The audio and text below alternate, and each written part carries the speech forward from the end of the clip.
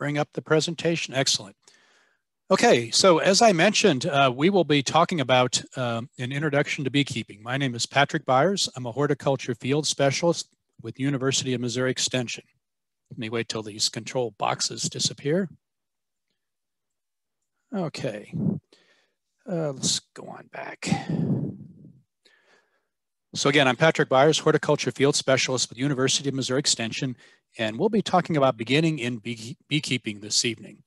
And again, this is a, a uh, just a very brief introduction to several aspects of beekeeping. It's, it's designed to pique your interest and, and hopefully uh, encourage a, a, uh, a, further investigation of the joys and, and pleasures of beekeeping. Tonight, as we go through this material, if you have any questions, please type them into the chat and my co-host Anna will be keeping an eye on that and uh, we'll tackle those questions as we go through this. So let's go ahead and get started. As Anna mentioned, this uh, workshop tonight is sponsored by Springfield Community Gardens and the vision of Springfield Community Gardens is a community where everyone has access to healthy local foods. Springfield Community Gardens maintains a network of community gardens across Greene County, Missouri. They also have a very innovative farmer incubator program and a more, more uh, very recent project is the development of a hospital garden. So for more information about Springfield Community Gardens and their, their projects and their mission, check out their uh, website, check out their Facebook site. Uh, I'll mention that uh, tonight's workshop is one in a series, and uh, these workshops are all uh, announced and publicized through the Springfield Community Gardens Facebook site. The other partner in this evening's workshop is the USDA. And Springfield Community Gardens has received several grants to support their mission. And part of those grants is an outreach aspect, and that's where I come in as a horticulture field specialist with University of Missouri Extension. I partner with Springfield Community Gardens to put on these workshops. Uh, the workshops are funded in part through USDA and through the, uh, the grants received. And we will ask you at the end of our uh, workshop this evening to fill out a brief survey to give us a feel for the, uh, the uh, workshop this evening. This is very helpful for myself to, to help me improve continuously as I develop workshops, but it's also required for us to report back to our funders. So we appreciate your help with the, uh, the impact survey. The uh, Farm Services Agency is the gateway to uh, USDA services, and these services are in place to support agriculture in all of its aspects in, in the United States, and that includes small-scale specialty crop agriculture. The uh, Natural Resources Conservation Service, or NRCS, has a number of programs in place to uh, offset some of the costs of farming. So it's, it's definitely in your interest as uh, beginning farmers to investigate the, uh, the various programs that are available through NRCS and through FSA. Other agencies, such as the Risk Management Agency, also have services in place to support farmers, and all of these resources are described on the farmers.gov uh, resource website. Hi, Patrick. We have a question. Yes. Um, so an anonymous attendee asks hospital garden. I think that's directed a little bit more towards the Springfield Community Garden side of things. I'd be happy to do that real quickly. Sure.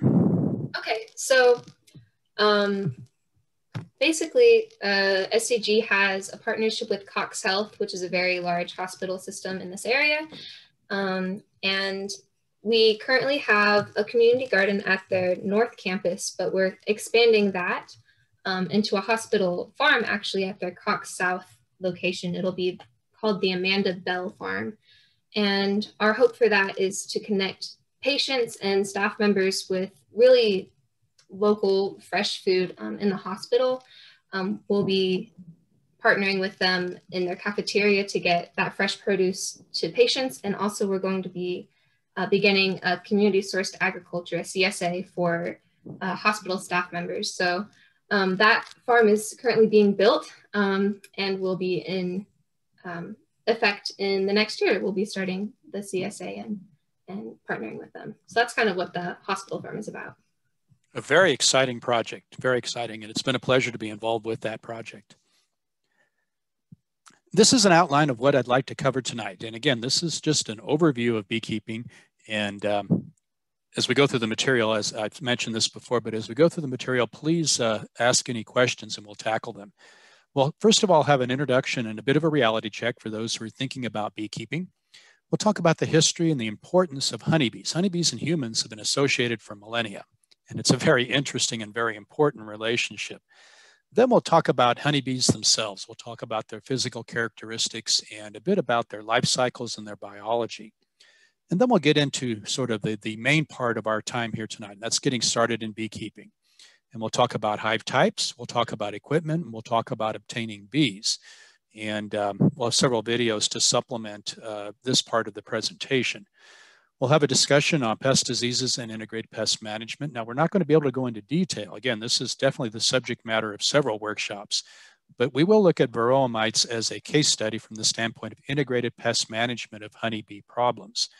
We'll talk about honeybees and pollination, and we'll talk about bee products, and then we'll wind up with just a discussion of keeping honeybees in urban areas.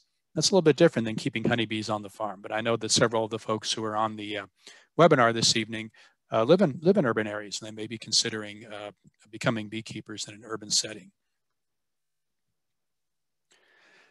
So you're interested in keeping bees. Well, I, I, salute you. I congratulate you. It can be the start of a fascinating hobby and, and perhaps even a venture into the commercial aspects of beekeeping. But again, it's important to do a reality check. You know, first of all, is this going to be a hobby or are you thinking about it from the standpoint of making money from your, your uh, beekeeping enterprise? Uh, very important to think about that because you're going to have a different approach to uh, the material that I'll cover tonight if you're a hobbyist than if you're a commercial beekeeper. Um, are these bees going to be in your backyard, just a few hives, uh, something that you manage for the pleasure of it? Or is it going to grow to the scale again where you might be considering uh, commercial production of bees and bee products? How many hives do you want to have? Uh, do you plan to make money from pollination services? This is definitely an opportunity for those, uh, for, for beekeepers. Now it comes with some challenges as we'll talk about a little bit later on in the presentation. Or, and is your goal making money? Uh, perhaps selling honey, perhaps selling other bee products. So again, ask yourself these questions at the very beginning of your interest in beekeeping. And, and honestly, many people start out as hobbyist beekeepers. And as I said before, it can be a very enjoyable, very fulfilling hobby.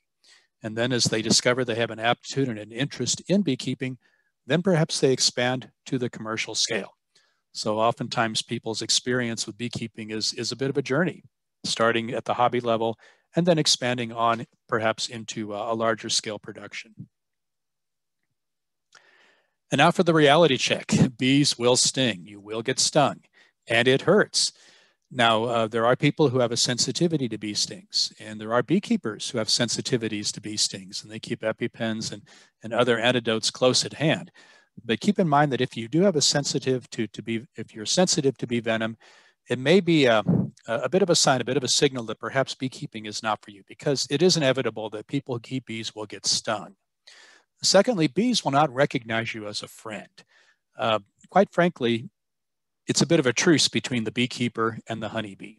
And in fact, as you work with, with, uh, with honeybees, and in many cases, they perceive you as the enemy. And the, the way that you manage them is, is in an effort to overcome this, this um, uh, alarm reaction, which is natural. You know, you think about opening a hive, this is pretty disruptive from the standpoint of the honeybee. And uh, uh, that it's, it's just important to recognize that, that honeybees do not become your friends. Beekeeping is expensive. We'll talk a little bit about the costs of getting into beekeeping a little bit later on.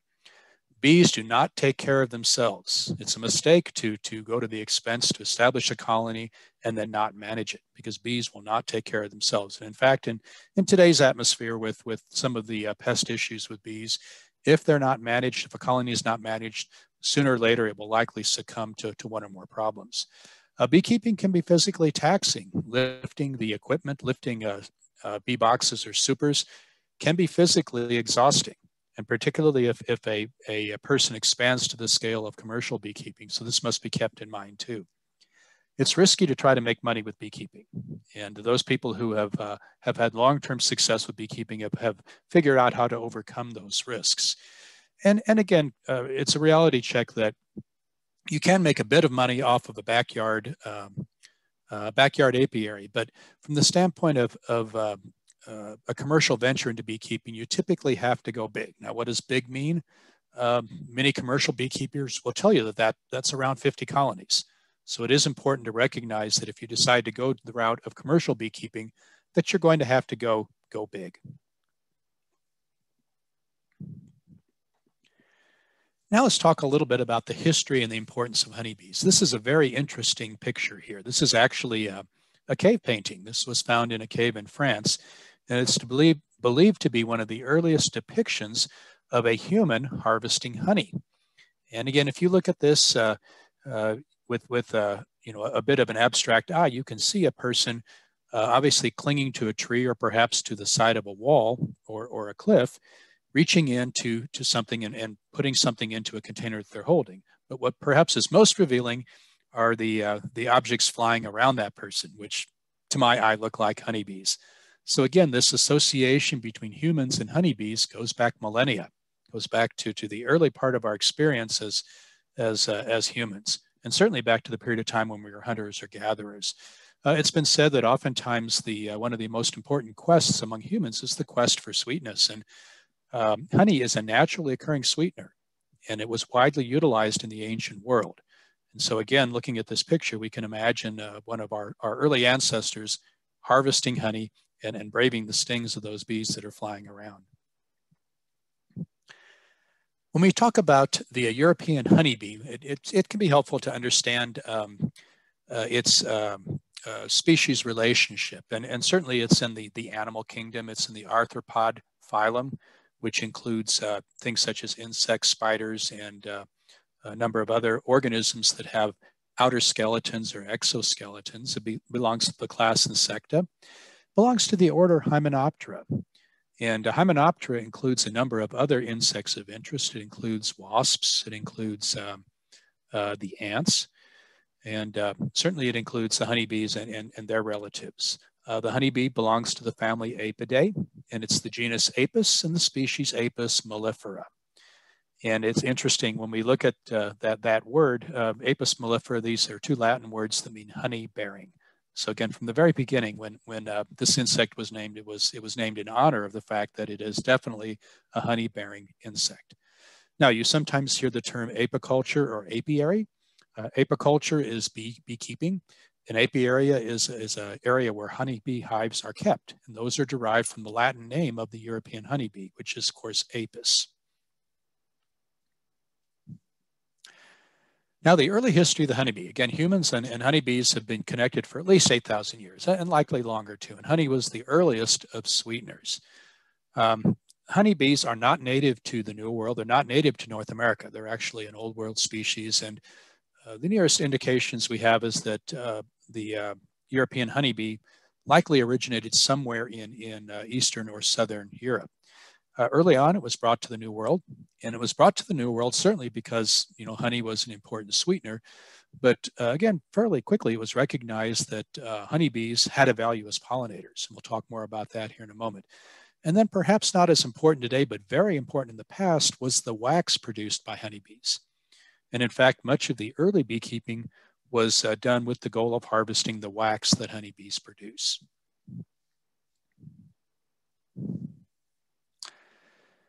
Now, as far as the importance of the honeybee, you know, certainly there's a relationship between humans and honeybees, but uh, it goes beyond just a, uh, uh, a source of something sweet. And honeybees actually co-evolved along with modern agriculture. In other words, the, the uh, the relationship with humans evolved along with the development of modern agriculture by humans. And humans recognized early on that honeybees were a partner with many of the crops that they wish to grow. We'll talk more about that when we get to our section on pollination. Honeybees perform 5 to 30% of pollination. Uh, it's been estimated that uh, 1 in 10, or perhaps even more than that, uh, mouthfuls of food that we eat is uh, there directly as the result of honeybee pollination. And in fact, if we look at the value of honeybees in agriculture, they're worth more as pollinators than as honey producers. And uh, again, native, native pollinators certainly have a role to play, and, and we, we want to recognize that. But honeybees are crucial, and partly because honeybees can be managed, and partly because honeybees can be moved. And a little bit later on, we'll talk about migratory beekeeping and migratory pollination. So some milestones in, in the recent relationship between honeybees and humans. Uh, the gentleman in this picture, Reverend Lorenzo Langstroth, uh, we, we, should all uh, bow our heads in thanksgiving to Reverend Langstroth. Uh, he early on recognized something, a very important concept called the bee space. And we'll talk more about that here in a moment as well. But in 1852, he patented the movable frame hive. And this was the first uh, commercially available hive where a beekeeper could take it apart into pieces and pull out components and examine the bees. Uh, prior to Reverend Langstroth's uh, uh, development, bees were kept in things such as hollow logs or, uh, or straw baskets or, or boxes. And in these settings, the, uh, the uh, bees would fill the area with comb and with, with honey. But when it came time to harvest the honey, the only alternative was to destroy the colony. But with the Langstroth hive, as we'll talk about here in a moment, we can now pull components out, we can brush the bees off, and we can harvest honey and wax from those components without destroying the colony. So again, this was a, a revolutionary development. 1857, we saw the invention of comb foundation. We'll talk more about that here in a moment. But that is the material that we can place within the Langstroth hive to help guide the development of the honeycomb within the hive. 1865, the invention of the honey extractor. Again, prior to having honey extractors, honey was, was collected by crushing the comb and uh, collecting the honey. Again, this was, was obviously disruptive to the colony. But with a honey extractor now combined with a Langstroth hive, we can now pull frames out. We can cut the caps off those frames. And with the extractor, we can, we can uh, drive the honey out of the comb and then replace the frames and the uh, comb back into the hive. 1865, we saw the importation of Italian honeybee queens into uh, the United States, and this was a huge development. We'll talk more about Italian honeybees here in a moment, but it proved to be a very productive, very easily managed strain of honeybee. 1883, the first US bee laws. Uh, beekeeping is regulated by the USDA, and commercial beekeepers have to adhere to the uh, regulations in place at, at the federal level. There are also state laws that regulate beekeeping. 1998, uh, this is a fairly recent development, but movable frame hives were required for, for most commercial beekeeping applications. And then 2006, this was the first year that we had a widespread report of colony collapse disorder. This has been extremely disruptive to beekeeping, both at the hobby level and also at the commercial level. And for example, in the seven years between 2006 and 2013, uh, US beekeepers lost 10 million colonies. This is just an astonishing number. And we'll talk more about colony collapse disorder a little bit later on. Now, where are we as far as colony numbers in the United States? Well, at the present uh, time, we are definitely down from the peak. The peak was in 1947 when we had 6 million hives. Uh, the most recent information we have was as the result of the US Census of Agriculture in 2017, where it was estimated that there were 2.62 million colonies. Um, in 2016, there were about 125,000 beekeepers. Uh, 1,600 of these were commercial beekeepers. The rest were people like you and I, hobbyists who had less than 25 colonies, or part-time uh, commercial beekeepers who had less than 300 colonies. So again, um, the uh, 1,600 commercial beekeepers, they account for a good part of the, the bee colonies, but hobbyists and part-time beekeepers are important as well. And we're seeing this huge, huge uh, building of interest in beekeeping, especially in urban areas. And again, I suspect many of the folks on the uh, the workshop this evening may live in urban or suburban areas and are thinking about uh, beekeeping. Some of you may already have hives. Okay, now let's talk about honeybee biology. It's a fascinating insect. And I think it's important to understand biology to become a, a good beekeeper. We have to understand how bees function, what's what is important about their life cycles and uh, and uh, their behaviors, so that we can adapt what we do to help manage their colonies effectively. So a honeybee life cycle is uh, from, from egg to adult is about 21 days in the case of a worker bee. It's a few days longer in the case of a, of a queen or a, uh, a drone bee. But basically there are four life stages for a honeybee. Those stages are egg, larva, pupae, and adult. And so the egg is laid and in six days it hatches into the larva. And then the larva is in place uh, until about day 15. At that point, it pupates, forms the pupa. And then about day 21 is when the pupa then hatches or, or uh, uh, develops into the adult bee. So again, uh, very interesting life cycle, but not all that unusual compared to other insects. And again, an egg for, for about the first three days, a larva then from day four to day 10, a pupa from day 11 to day 20. The uh, uh, developing larva and the pupa are tended by uh, the, the worker bees, and then the worker bees cap the cell. The uh, uh, pupa then, when it emerges as a new adult, the new adult chews out of the cell and becomes a, a, a productive part of the hive. Now, as far as the adult life cycle, uh, the adult worker bees begin life as what are called nurse bees. They stay in the colony, they tend to the eggs to the developing larva. They have housekeeping duties, they tend to the queen, and this lasts for about the first 22 days or so of their lives. And then from, from that point on, they become foraging adults if it's during the, uh, the uh, uh, nectar flow, during the time of the season when, when flowers are blossoming and producing nectar. And they, they uh, will then be uh, foraging adults that leave the hive, collect nectar and pollen and return back to the hive with, with those important foodstuffs for the colony. Now, within the, the honeybee colony, there are three castes or, or types of bees.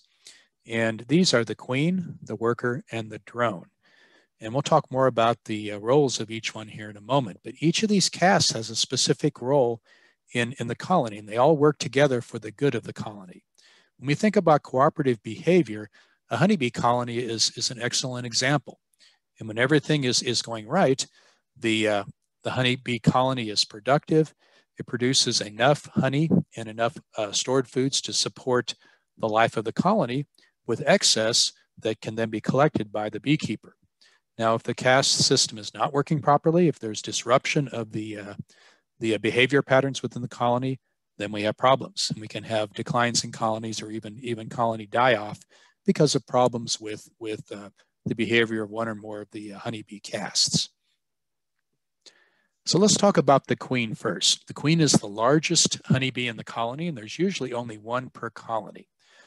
Um, she's typically about 18 to 20 millimeters long. She's the longest lived bee in the colony. She can have a lifespan of up to six years.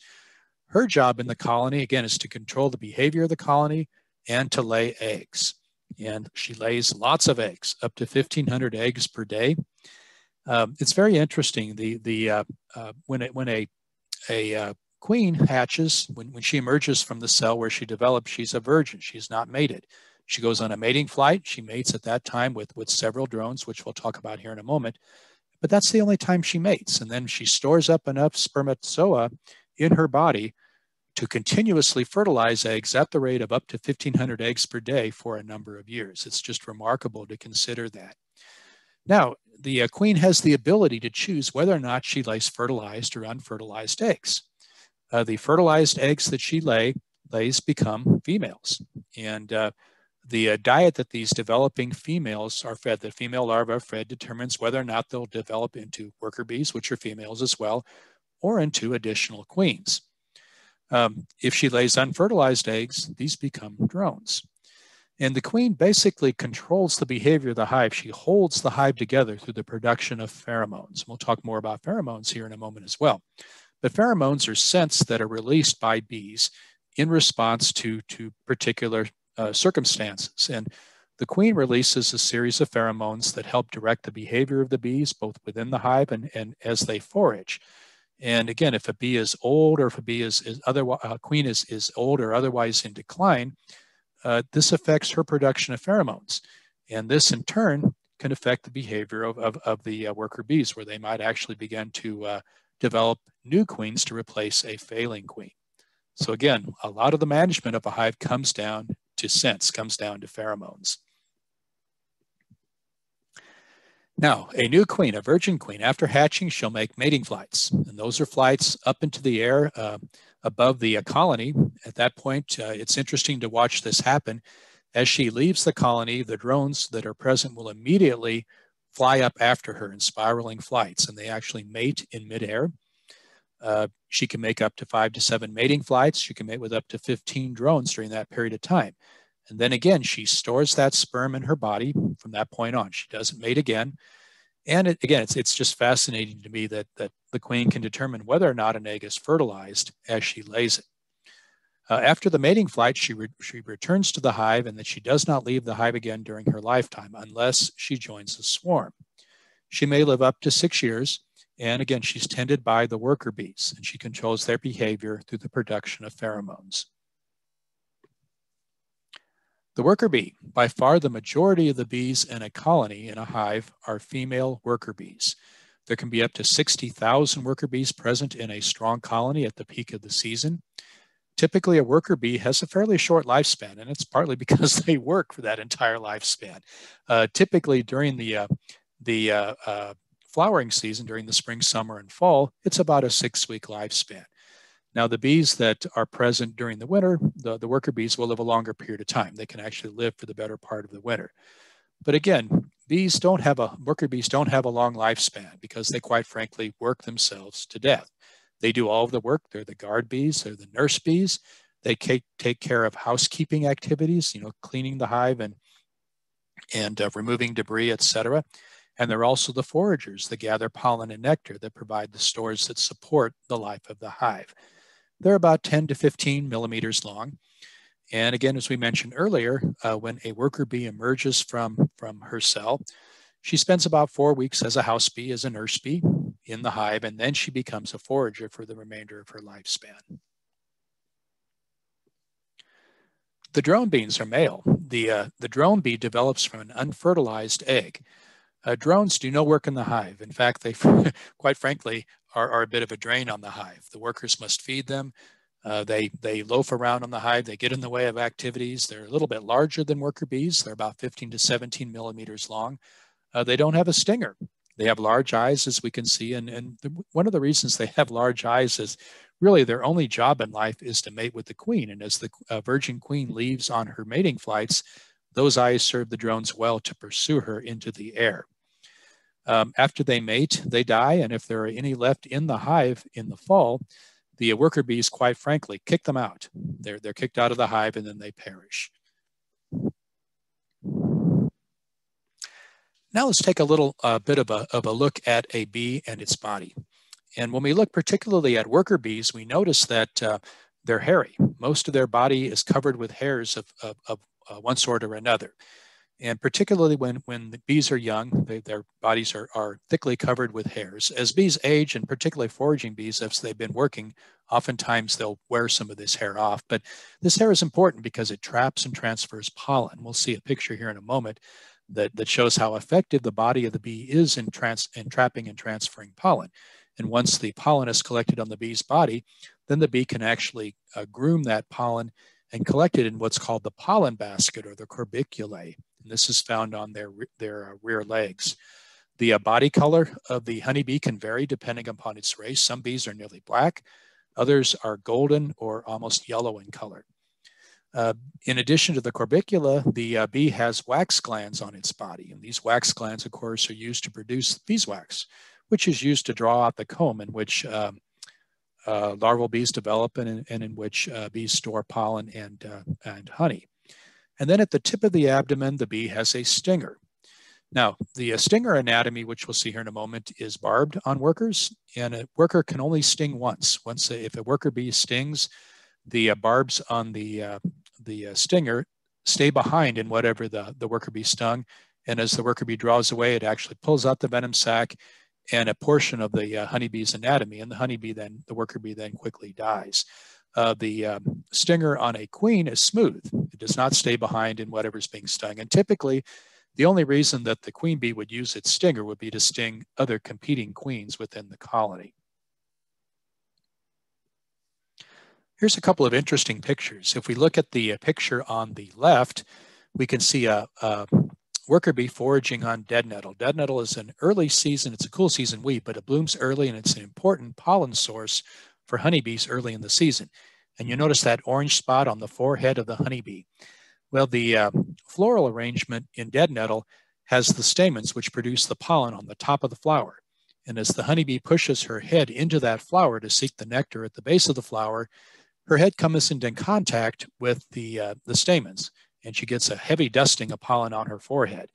And then she, as she pulls away, she'll groom that off. And you'll notice in the lower picture, those um, uh, reddish colored areas. Those are the uh, corbiculae, the uh, pollen baskets on the hind legs of this worker bee. And she has actually groomed the pollen off of her head and her body and collected it there so she can carry it back to the hive on her legs.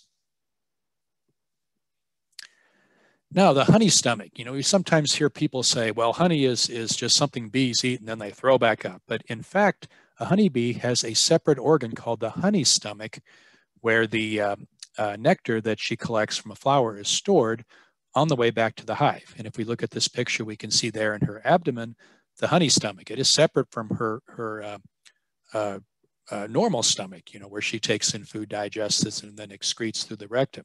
The honey stomach uh, is a separate organ. It allows her to draw in honey through her mouth parts. The honey is stored in the honey stomach, and then when she gets back to the hive, she regurgitates the, the nectar where it's placed into uh, cells, and then the excess moisture is uh, ev evaporated. So again, it's definitely separate from her regular stomach and does no digestion. Now let's take a look at the stinger. And again, as I said before, if you're interested in keeping bees, sooner or later you're going to be stung.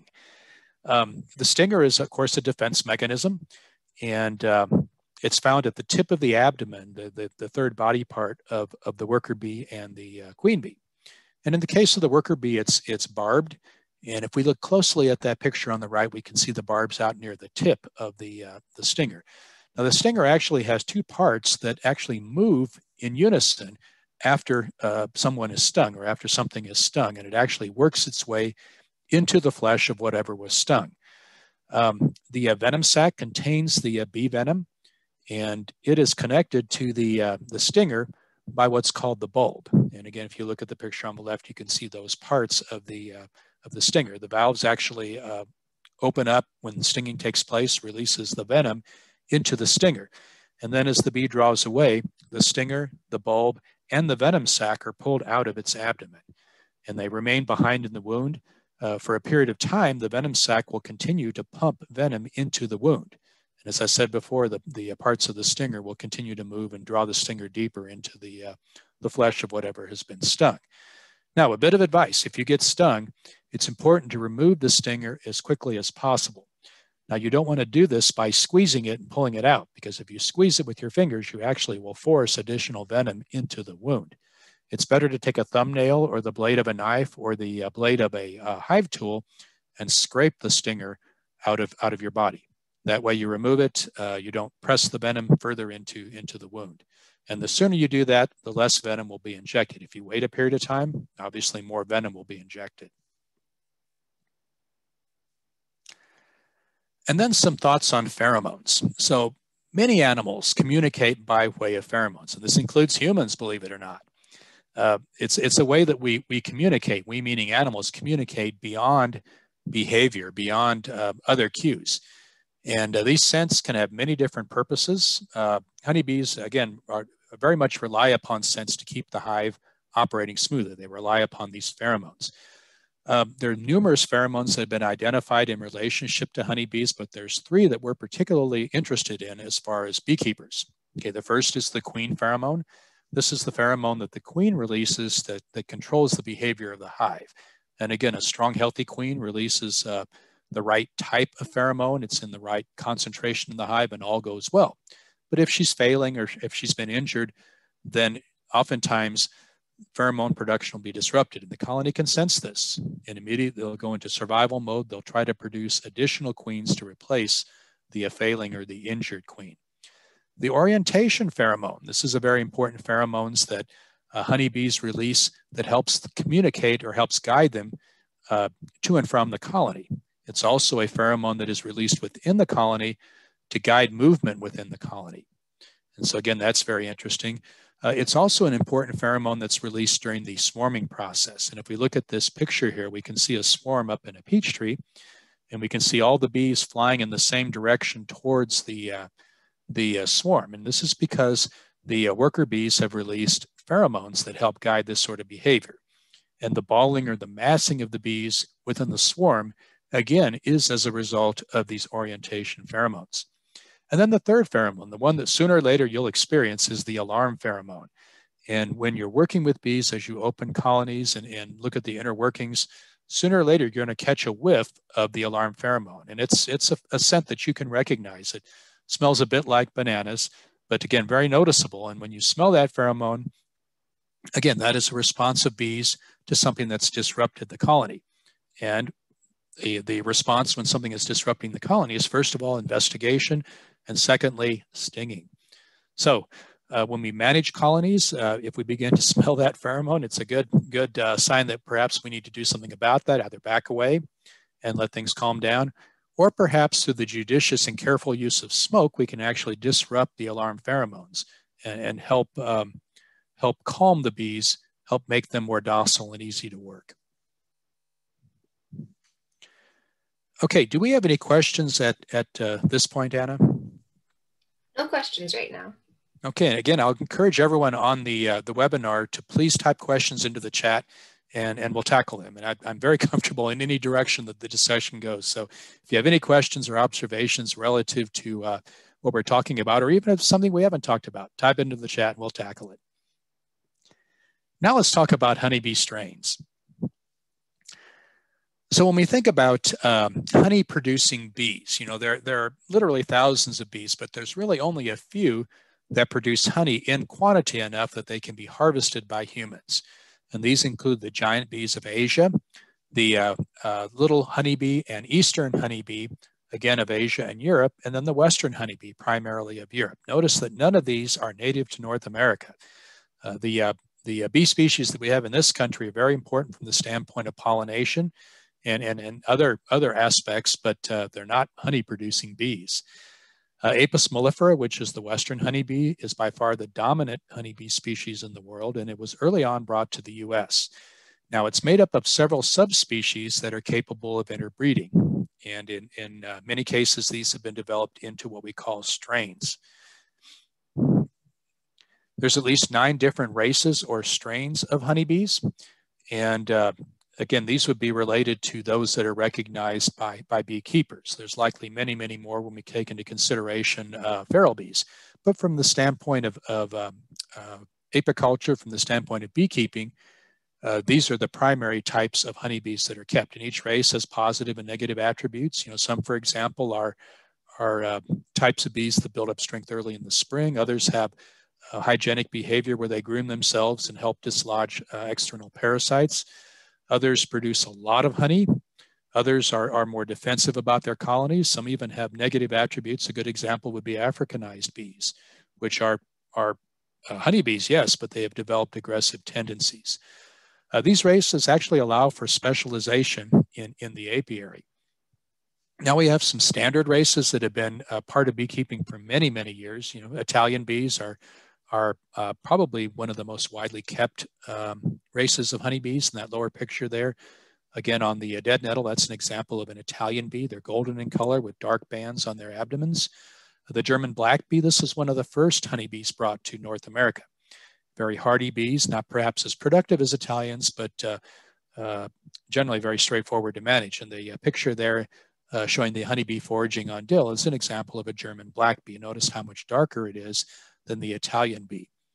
Two other races of bees that are that are, are widely known and widely kept are the Carniolan and the Caucasian. We have several new races of honeybees, and we'll talk about um, integrated pest management here in the moment. But one aspect of integrated pest management is developing honeybee races that have behaviors that make them less susceptible to bee problems. And in the case of, of uh, buckfast bees, and in the case of Minnesota hygienic bees, they actually have behavior patterns that help overcome some of the problems related to uh, varroa mite, which we'll talk about here in, in a bit. So again, okay. yes. Hi, we have a few questions. Yes. So the first one is from Maggie. She says that she's heard smoking is not wise as it slows down the bees for days. So smoking has to be used carefully, judiciously, and in the right way. It's a mistake to fill a colony full of smoke when you use smoke, you want to use it in such a way that, first of all, you don't contact the majority of the bees in the hive. You want to use it, for example, with puffs at the entrance as you begin to work a hive. That way, the guard bees at the entrance can then communicate with the rest of the colony that uh, there may be a situation where they're going to have to vacate. And so uh, the, the guard bees and others that, that are near the entrance will begin to consume some honey. It's also useful to disrupt that alarm pheromone that I mentioned earlier. And again, by using uh, puffs of smoke at the right place and at the right time, you can do that. Uh, if you're in a situation where you've got general alarm in the colony, uh, quite frankly, it doesn't matter how much smoke you use. You're in a situation where you need to back away, let things calm down before you go back to work with the bees. Smoking is not, uh, not a solution for general alarm in a colony.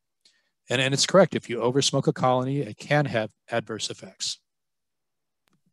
Awesome, thank you. Uh, we have a question from Jennifer. She asks if there are any scents like lavender, for example, that a beekeeper could wear to help the bees remain calm. That's a good question. I don't know that I have an answer to that. Um, I do know that there are certain scents that you should not wear. You know, for example, there are some perfumes that actually alarm bees, and uh, not a good idea to dab those behind your ears or on your on your temples before working with bees. Uh, there are, I've, I've had the experience personally. There there are certain aftershaves that bees just don't seem to like. And so in, in that case, uh, you, you wouldn't want to, to use those scents near bees. You know, again, bees are, are, are finely tuned to scents. As I mentioned before, pheromones guide their behavior. And uh, other scents can, can be disruptive or even alarming to, to honeybees. For sure. And then one more question right now, it's from Caleb. Uh, he asks, when do you take fall syrup away when it gets to a certain temperature?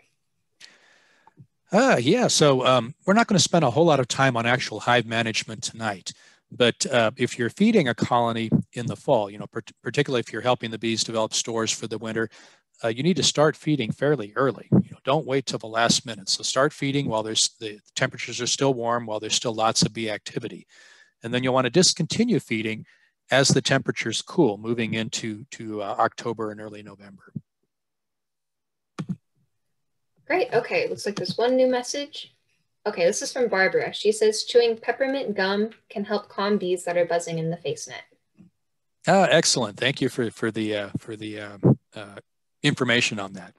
One thing that I've learned early on is that when you get a group of people together who are interested in bees, especially if you've got some experienced beekeepers in the group, there's lots of sharing of information, and I appreciate that.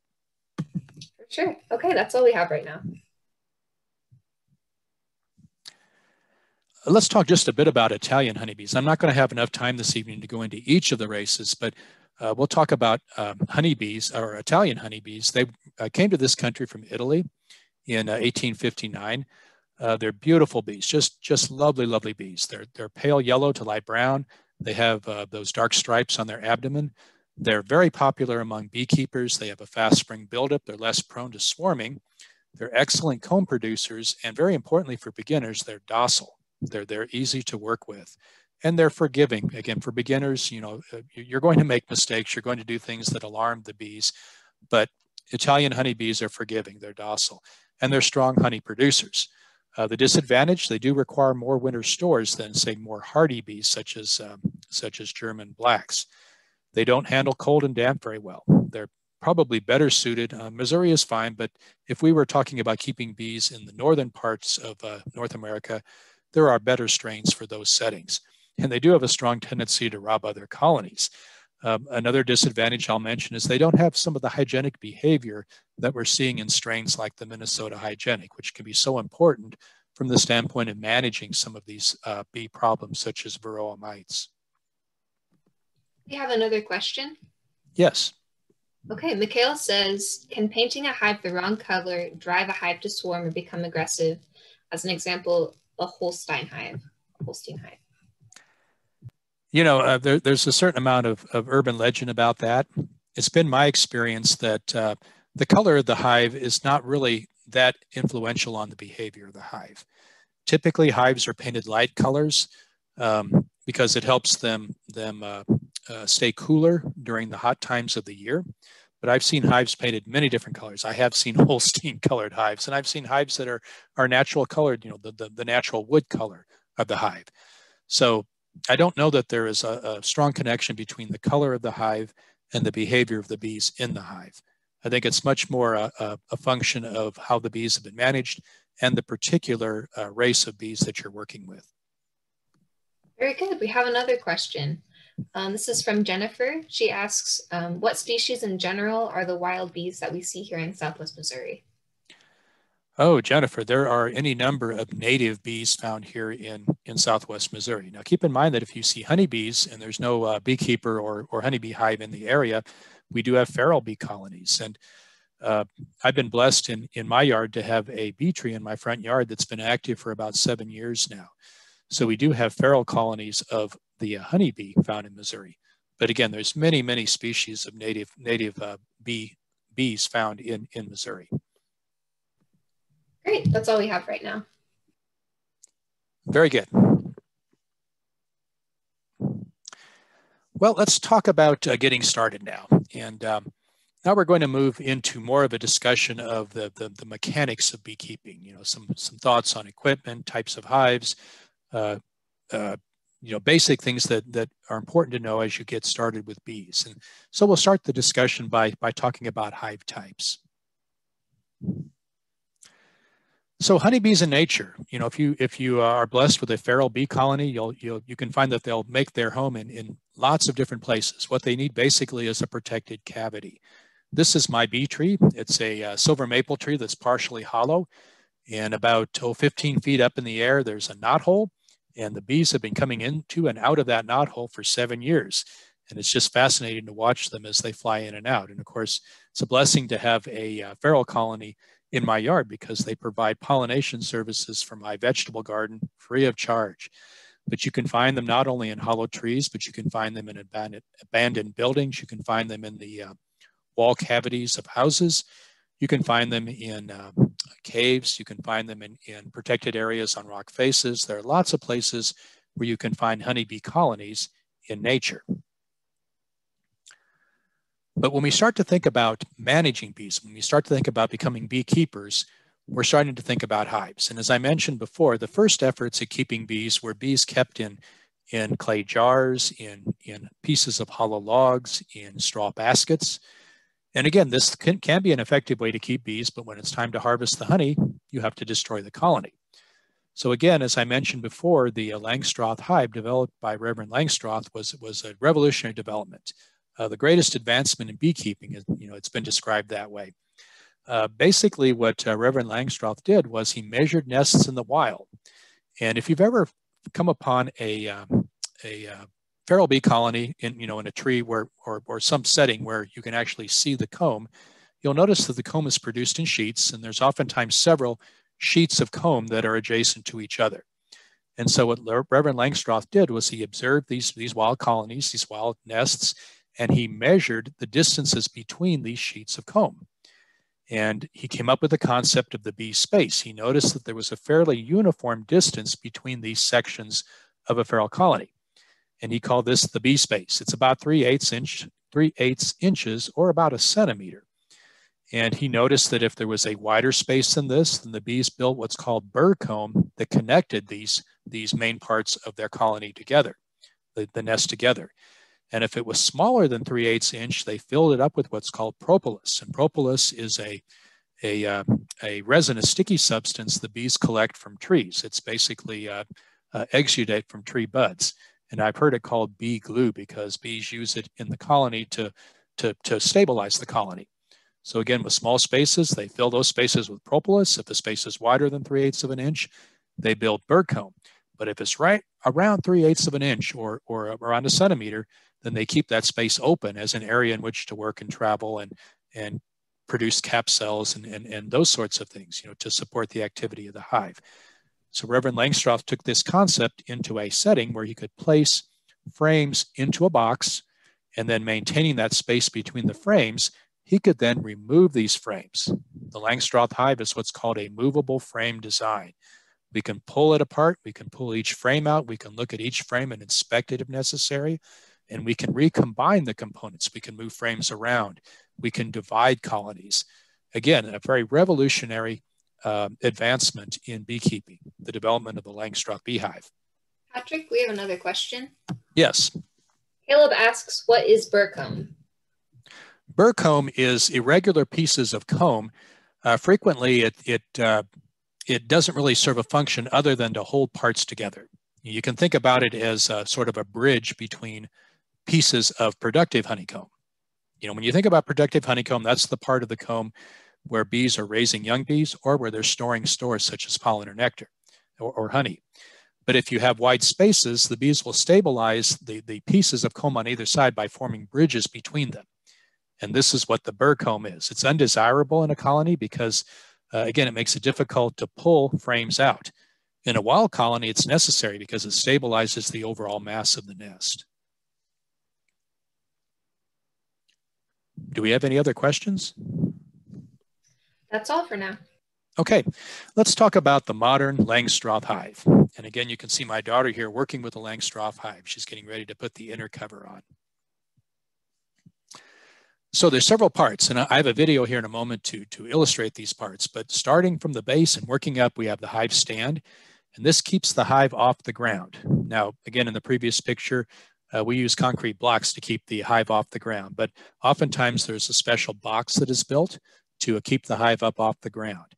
Um, I'll, I'll, mention here that uh, when we talk about some of the hazards of beekeeping, one of the things to consider is that as you move hives around, they're up off the ground, and as you lift them off a hive stand, you want to be careful about what might be underneath. There have been cases where there have been skunks or possums or, or copperheads taking shelter under beehives. So be a little cautious when you lift a hive off the hive stand. As far as the, uh, the hive itself, we have the bottom board, which is the base or the foundation of the hive. Then we have the hive body. This is sometimes called the brood box. Uh, it's a box of some depth, typically nine and a half inches. There can be more than one box that forms the hive body, but we'll see more about that here in a moment. Then above the hive body, we have what's called the queen excluder. And the queen excluder is a screen. And this screen actually keeps the queen in the hive body. Remember that the queen is the largest bee in the colony. She's definitely smaller than the worker bees.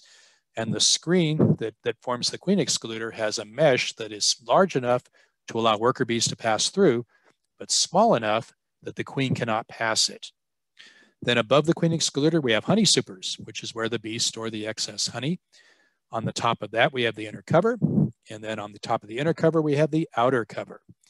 And there's two types of outer covers. One is called the telescoping cover. That's what most of us will be using uh, as, as um, uh, backyard beekeepers or, or hobby beekeepers. It comes down over the sides of the hive.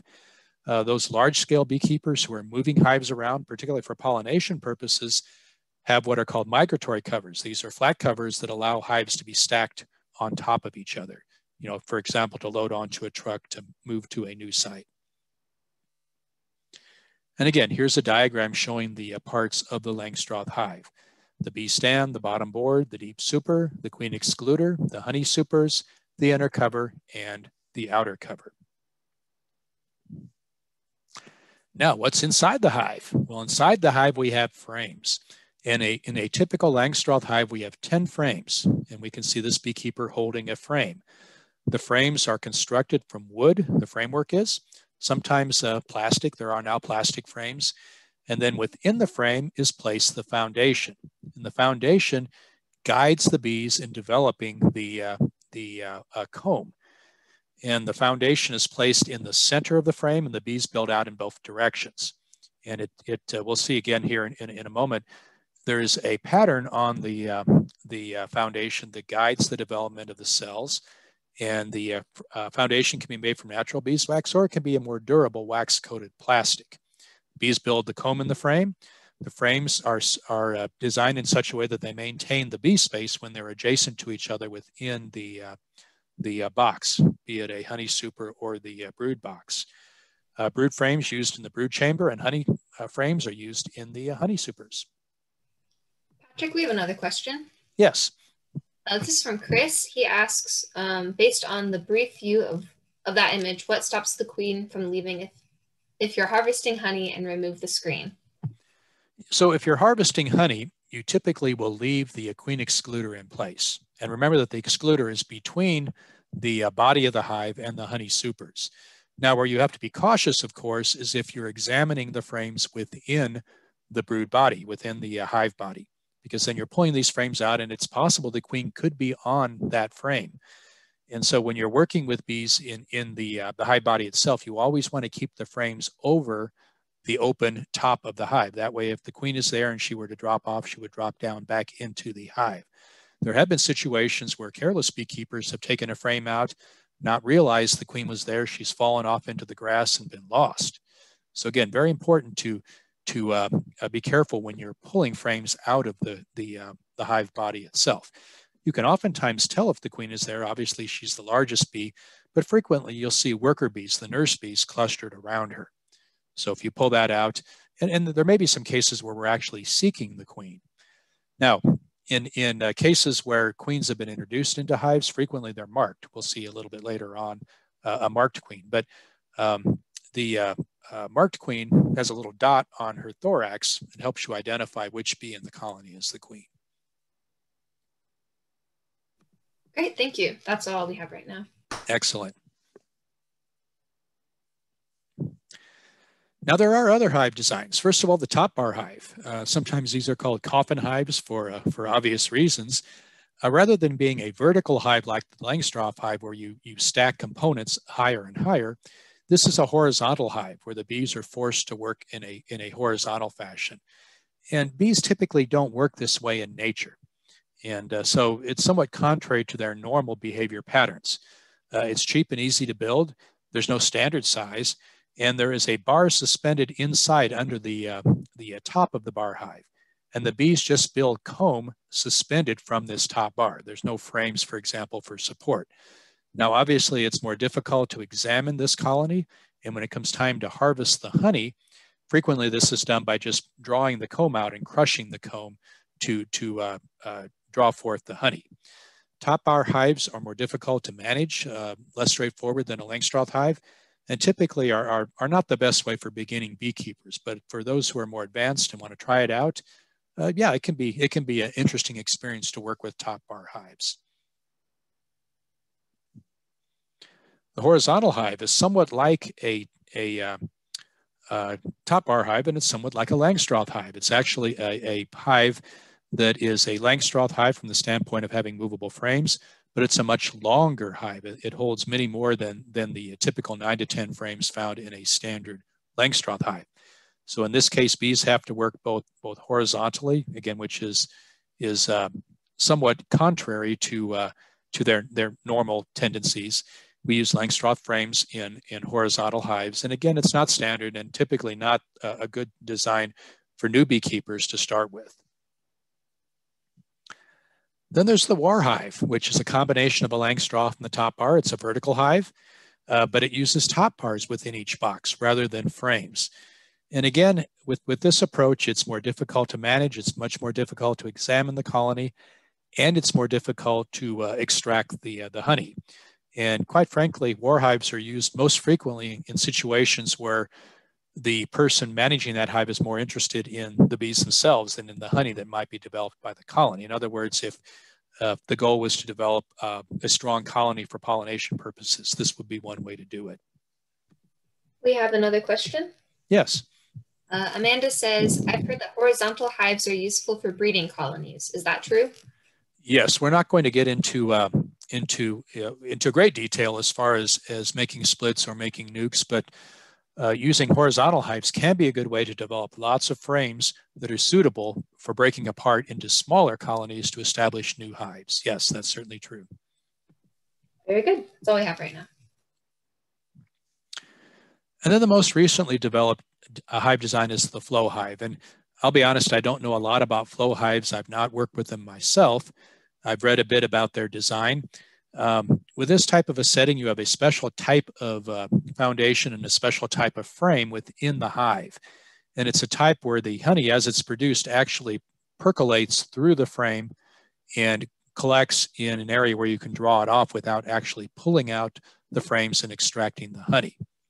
Uh, there's some question about the durability of these hives. There's some question about whether or not bees are, are um, uh, as as productive, you know, the, in in this sort of a setting. But particularly from a uh, a, hobby standpoint, it might be interesting to try a flow hive. Bees produce lots of propolis in, in uh, response to flow hives, and this has to be recognized. It can make it a challenge to break the hive down and examine it. Okay, do we have any other questions before we move on to, to uh, equipment? No other questions right now. Okay, now let's talk a bit about beekeeping equipment. So what do you need to get started about with in, in beekeeping? Well, your basic needs, of course, are, are the hive. We talked about the parts of a Langstroth hive, and it's certainly recommended that new beekeepers start with a Langstroth hive. You need some basic tools. What do you need? Well, quite frankly, a hive tool is helpful. Uh, a bee brush is helpful and a smoker is helpful. Protective equipment. You know, again, sooner or later you're going to get stung, but you want to try to develop uh, a, a working environment where that that eventuality is minimized. So wearing protective equipment can be very helpful. So a bee suit, gloves, and a veil. And then of course you need the bees. Okay, we'll talk about uh, uh, that here more in a moment. If you grow to the, the uh, size where you're, you're going to be extracting honey, uh, you can certainly extract honey by just crushing the combs and collecting the honey. But it's much more efficient to actually collect the uh, honey through extraction.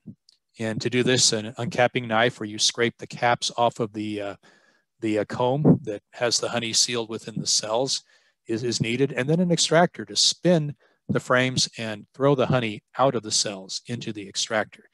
Now, uncapping knives and extractors are, are, costly and there's a bit of skill required to use them effectively. It's been my experience that uh, it's a good situation for a hobby beekeeper to develop a relationship with a commercial beekeeper that has this equipment and that will allow them to, to uh, come in and use their equipment to, to uncap frames and to spin the honey out. Now, what about used equipment? You know, certainly used tools, used uh, protective equipment is fine, but be very cautious about used hives, used frames, uh, other wooden parts of, of, of um, the equipment because uh, used equipment frequently is available because something happened to the colony that was in that hive. You know, it, it died for whatever reason. And there can be situations where the, uh, the colony may have died as a result of a disease. And some diseases actually produce resting stages that are very durable, that are very hard to clean off of woodenware. And if you try to establish a new colony in this used equipment, you can actually have problems with, uh, with diseases then from that point on. All right, we have another question. Yes. Lori asks, how many brooder boxes do you need when you start a hive? A hive can be started with one brood box, but typically as the season progresses and the uh, strength of the colony builds, you'll need two boxes to adequately house the, uh, the 60,000 plus worker bees and the queen, and then again, those, those drone hangers on. So it's a good practice to consider using two uh, deep boxes, two, two uh, uh, brood boxes to comprise the main part of the hive. Great, that's it for now.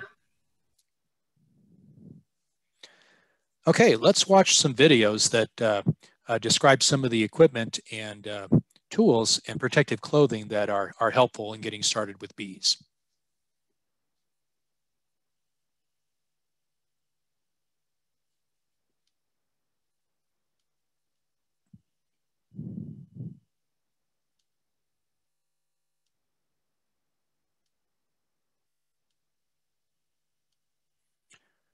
Okay, Anna, can we see the video? We can see it. Okay, excellent.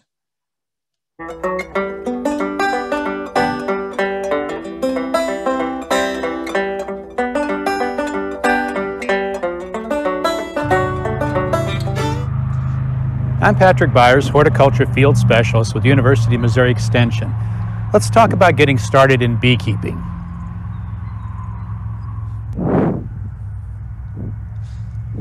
This is an example of a Langstroth hive, which is the most commonly used type of hive for beekeeping in the United States. Let's take a look at the components of a Langstroth hive. The first thing we have is, is the cover. This is sometimes called a telescoping cover because the sides telescope over the sides of the hive. Frequently, it will have a metal top to it, and then, of course, it's made out of wood. The next thing that we frequently see in a Langstroth hive is an inner cover. And this is the inner cover that is placed over the top of the supers. It gives the bees an area to congregate on top of the hive. And then we move into the body of the hive itself. This box on top is called a super. Now there are supers of different depths. This is a shallow super. A little bit further down, we'll talk about deep supers. Within the super are the frames, and the frames, of course, are the part of the uh, hive where the bees build out the comb and store the honey. So here is our shallow super. And again, this is where the honey will be stored. within the super are the frames. The frames comprise the inner part of a beehive, whether it be a hive body or, or a honey super. Let's take a look at a frame and, and talk about the different parts. So typically a frame is built out of wood. There are plastic frames that are available now. The top part is the top bar, the bottom bar, and the side bars. Now, within the frame is placed foundation. In this case, it's a durable plastic foundation, but you can also use foundation that is made from rolled sheets of beeswax. The foundation provides a guide for the worker bees to draw out the honeycomb. The foundation is placed inside of the frame. There's a little slot along the bottom bar.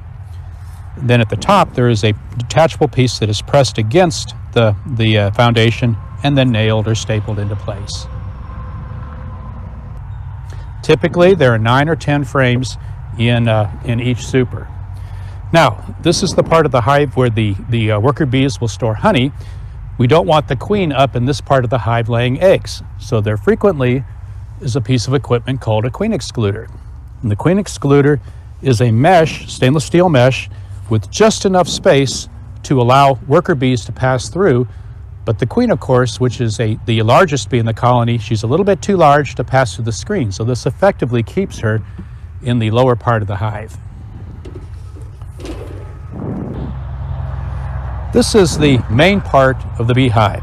So these deep boxes are sometimes called deep supers, sometimes they're called brood boxes, or sometimes they're called hive bodies. But this is where the action takes place in a beehive. Within the, uh, the brood boxes, the queen is active. Uh, the worker bees will draw out the comb, forming the cells. The queen will lay an egg in the cell.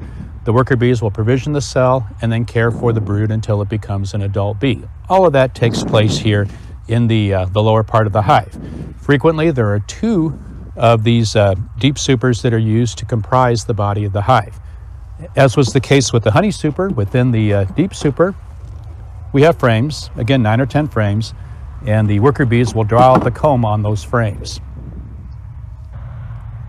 A beekeeper will frequently provide two deep bodies or, or two uh, hive bodies for the colony. And this is because the queen tends to work upwards as she's laying eggs and uh, uh, maintaining the colony. And the beekeeper can then switch these out uh, top to bottom as needed during the season.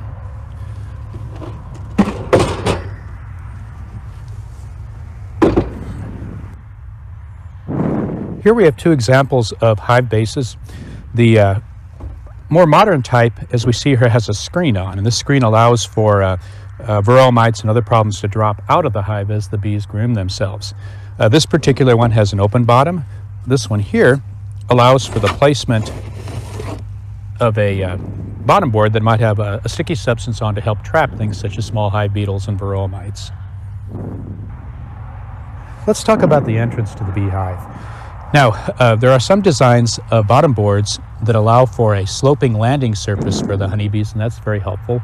As the worker bees are leaving the colony or arriving back with stores, it's nice to give them an area that they can land on to easily access the hive. Other designs just have a, a smooth landing surface here, but it is important to provide an area for the bees to land. There may be times during the uh, season where you want to reduce the size of the entrance to the hive, and that's done with a uh, entrance reducer as we see here. This has slots of different sizes depending on how much access you want to allow into the colony. And it's placed over the hive opening and then slid into place. You can see now that we've reduced the size of the opening to this small area here. This might be done in the winter time to, uh, to uh, uh, allow the hive to, to stay warmer, to allow less cold air into the hive, or it may be used with a weak hive to help reduce the area that the bees have to defend against uh, neighboring colonies that would be interested in robbing the colony. Let's talk about bee space. The Langstroth hive was revolutionary in that Lorenzo Langstroth recognized that if the components of a hive were placed the right distance apart, the bees would not build bridge comb or, or other types of comb that would interfere with pulling pieces out. And that space is about a centimeter, and we can see here between the frames in this hive, there's about a centimeter in space, and the bees will draw out the comb in the frames, but they won't connect the frames to each other. So the beekeeper can pull out individual frames and examine the hive. The space between components, between uh, the uh, supers, is also about a centimeter. And again, that allows the, that right amount of space for the bees to work and they won't bridge across it from super to super so that you can pull entire supers off of a hive if desired.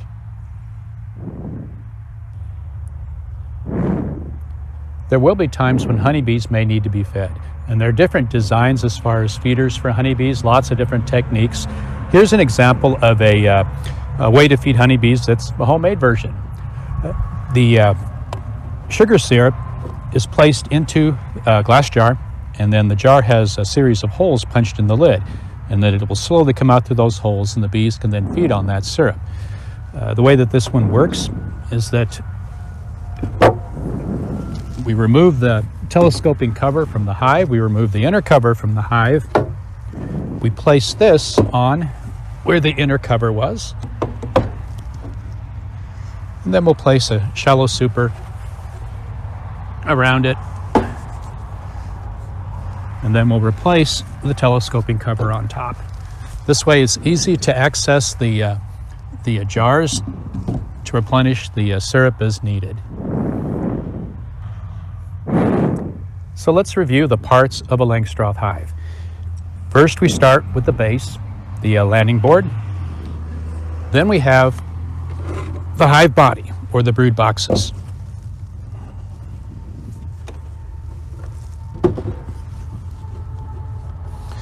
On top of the brood boxes, a queen excluder.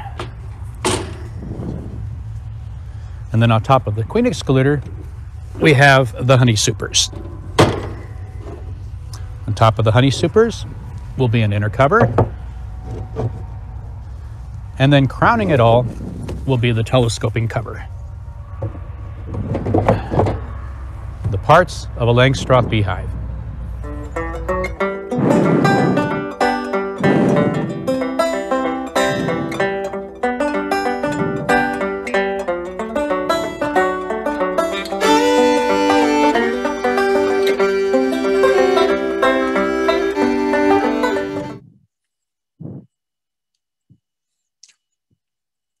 Okay, do we have any questions on the parts of a Langstroth hive? Um, we do have some questions that popped up during that video. The first yes. one is from Anonymous, who asks, what is it like to care for bees during the winter? Well, as far as caring for bees during the winter, the, the, the first thing is to make sure you go into the fall and winter with a strong colony. And uh, the uh, uh, ways that you do that, of course, are, are through management. But it's also important to uh, to uh, make sure that uh, you've allowed sufficient stores there. You know, if, if you're if you're taking honey for for your own use, that's fine. But make sure that you leave enough to support the activity of the colony. It's also important to find a sheltered area in which to, to overwinter the colonies. Uh, if much further north than, than Missouri, uh, beekeepers will actually wrap insulated blankets around their colonies to help keep them warm. You know, basically the bees survive by forming a mass within the colony and by shivering, quite frankly. And there's a small release of heat as they shiver that helps maintain the warmth of the mass of bees. Um, you know, the colonies can be lost during the winter. That's certainly true. It's a stressful time for a colony, but if the colony is in good health and it's a strong colony and it has sufficient stores moving into the winter, you should be able to overwinter it. Great. We have another question from Michelle who asks Would some areas be considered too warm to use wax foundations? Uh, so, when we think about um, wax foundation, uh, you know, sooner or later, we're going to have to have a situation where we can we can uh, have the wax that we need. I mean, um, the uh, whole goal of a, of a, of a, a bee colony is again to, to develop the comb to, to have the stores and to support activity as far as the laying of eggs and the development of young bees. And to do that, again, wax does melt, right? And so honeybees uh, spend a good deal of their time during the warmer parts of the year keeping the hive cool. And they do this in several ways. They do this, first of all, by vibrating their wings and generating air currents within the colony.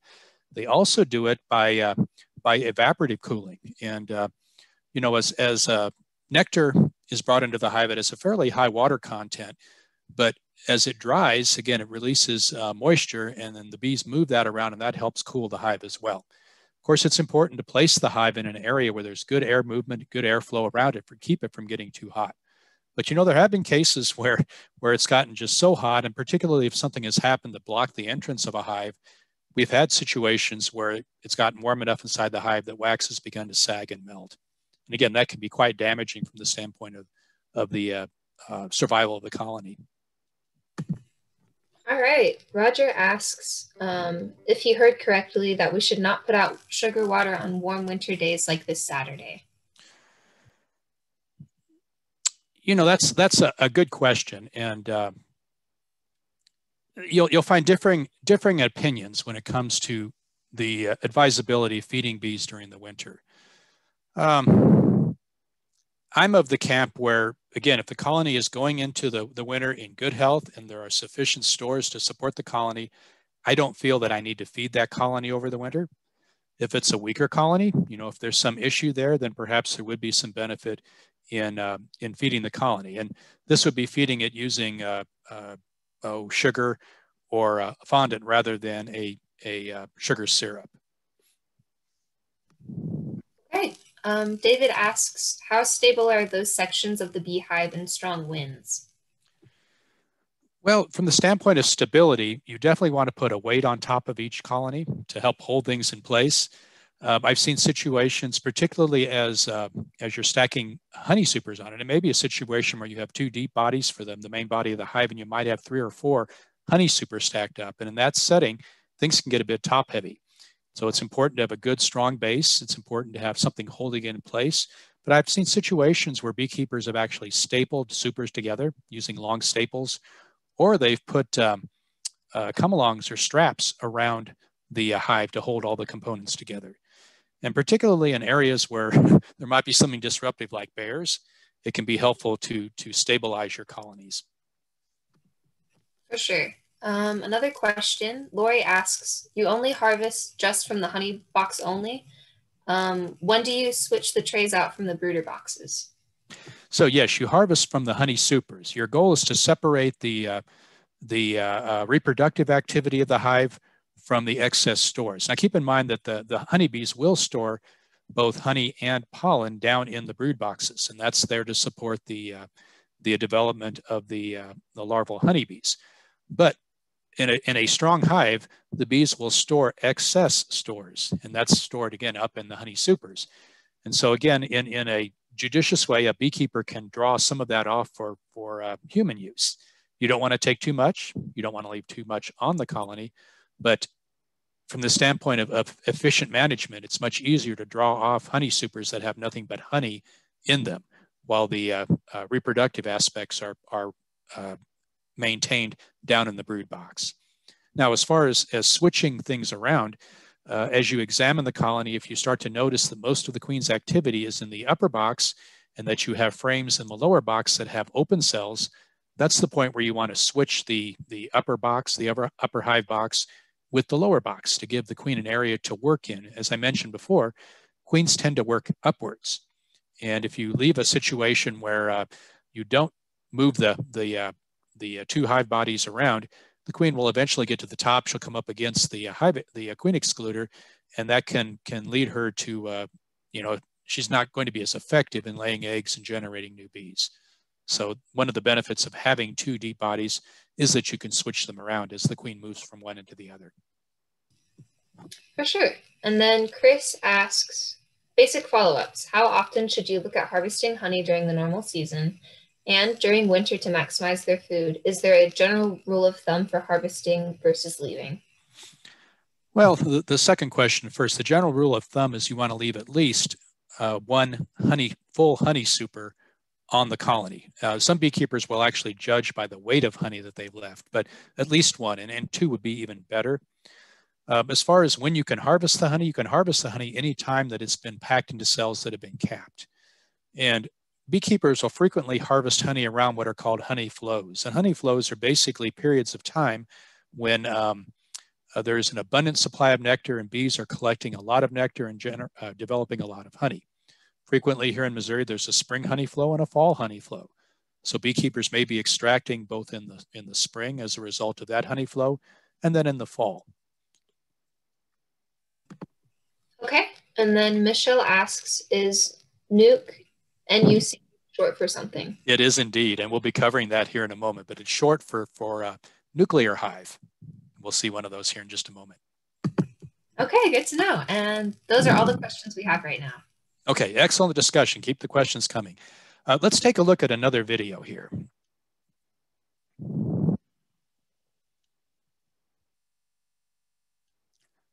Okay, Hannah, can we see this? At, at the moment, it's just a dark screen. You can see it. Okay. I'm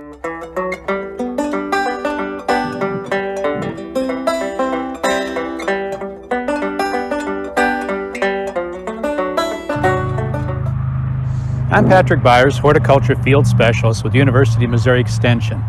Let's talk about getting started in beekeeping. A beekeeper will need several basic tools. The first, of course, is a hive tool. Uh, the hive tool is useful for prying parts of the hive apart. It's also useful for prying out frames for examination. Uh, it's useful for scraping burr comb and, and other parts of the, the, uh, the uh, uh, wax that you might want to remove from the hive. The second piece of equipment is a bee brush. The bee brush has soft nylon bristles. It's useful for brushing bees off of an inner cover, brushing bees off of frames before examination. Opening a hive for examination is a disruptive process, and it's natural that the bees will assume a defensive behavior pattern. This is where the smoker comes in. The judicious use of smoke, placed at the right place and at the right time, will help disarm this natural defensive behavior of the honeybee. For example, the smoke disrupts the pheromones that honeybees produce when they're alarmed. The smoke also convinces the honeybees that there may be the risk that the colony is on fire. And as part of the uh, defensive mechanisms, they will begin to consume honey. And a bee that has consumed honey becomes more docile and easier to work with. So let's fire up our smoker. I prefer to use burlap to get things going and then pine needles to provide a good, cool, dense smoke. So let's get it lit here.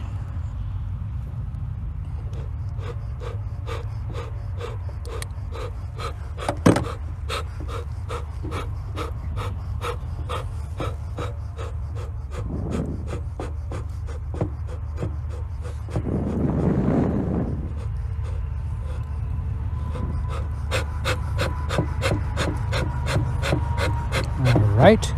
Now we'll go ahead and put some pine needles in.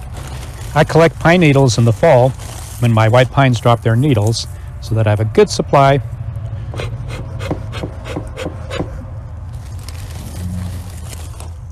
Again, look at the, the good quality smoke that this is producing.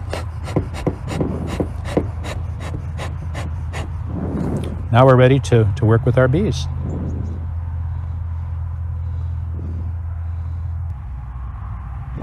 So you want to use smoke judiciously.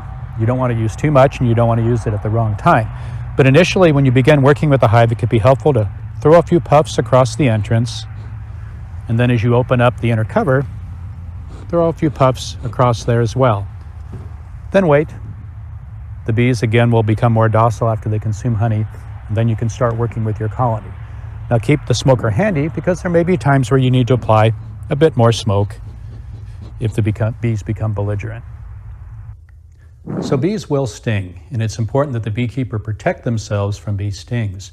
It's been my experience that bees will find every chink in your armor, so you want to think carefully about how you're going to protect yourself from your feet to the tips of your fingers to the top of your head, your entire body. Let's talk first about gloves. Uh, a good pair of bee gloves is the right size. You don't want them too large or too small because that would affect your dexterity. Bee gloves frequently are gauntlet length, as we see here, to protect not just your hands, but your arm as well.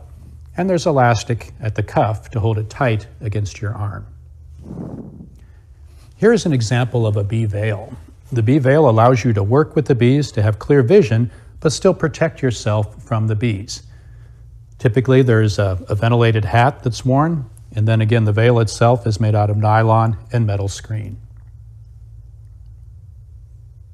Now, to protect your body from these things, you could certainly wear a heavy shirt and pants and, and perhaps boots and, and, and other articles of clothing. But to make the job comfortable and, quite frankly, to give yourself better protection, it's a good practice to use a bee suit. And here's an example of a bee suit. Uh, typically, these bee suits are light in color because it's a, a, cooler job wearing them when you're working bees, especially during the heat of the summer. And in the case of this suit, the veil is actually integral with the suit. And we can see that right here. So let me demonstrate the uh, beekeeping equipment. So we'll slip on our coveralls.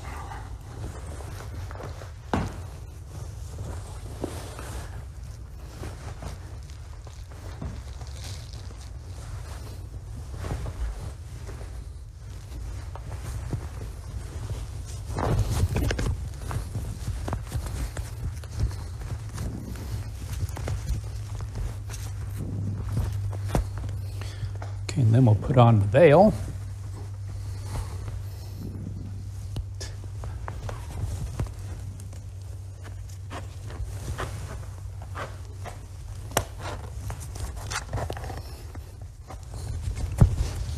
Zip them up.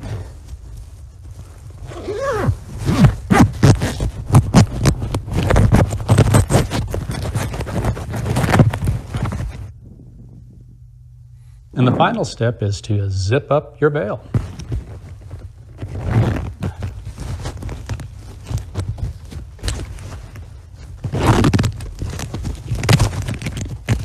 Okay, and then we'll put on the gloves.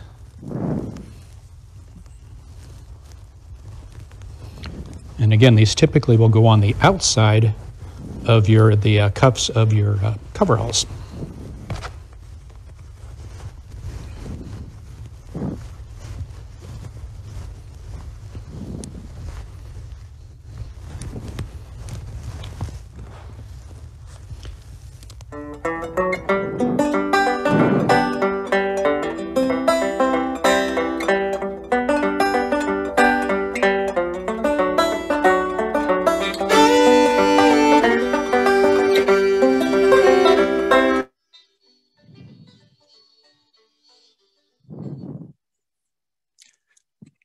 Okay, do we have any questions, Anna? No questions right now. Okay, very good. Well, let me go ahead and share back the screen here.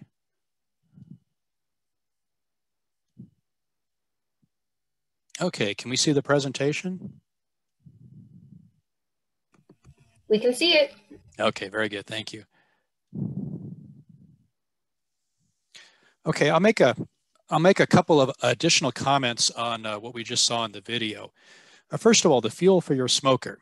Uh, you certainly want to avoid uh, any treated wood. You want to avoid any petroleum-based uh, materials like synthetic fabrics or uh, you know anything that would be oil-soaked in the smoker because it'll produce fumes that could, will injure the bees. And you also want to avoid uh, fuel that would generate too hot of a fire. You don't want to turn your smoker into a flamethrower because that certainly will, will injure bees as well. Um, and then uh, from the standpoint of the, uh, the color of your coveralls, I, I, favor white because it is cooler to wear white coveralls in the heat of the summer. But I've also been told that if you wear dark coveralls, there's some sort of primordial response of the bees to a large dark object as they would to a bear. And, and uh, it can be more difficult to work bees in dark colored uh, clothing. So be a bit cautious about that. Now, how much does it cost to get started in beekeeping? Well, you know, it, it, it all depends, right? And if you're a, a, carpenter and you have some raw materials on hand, you can certainly build the wooden parts of a, of a beehive. You could build the telescoping cover, you could build the inner, inner cover, you could build the uh, supers. Uh, it's best to buy the frames so that you can buy them broken down and put them together but uh, many of the components you can you can build yourself. Uh, accessory equipment, you could certainly purchase uh, used uh, bee brush, used uh, hive tool, used clothing. Um, as I mentioned, buying used woodenware is always risky, so be cautious about that.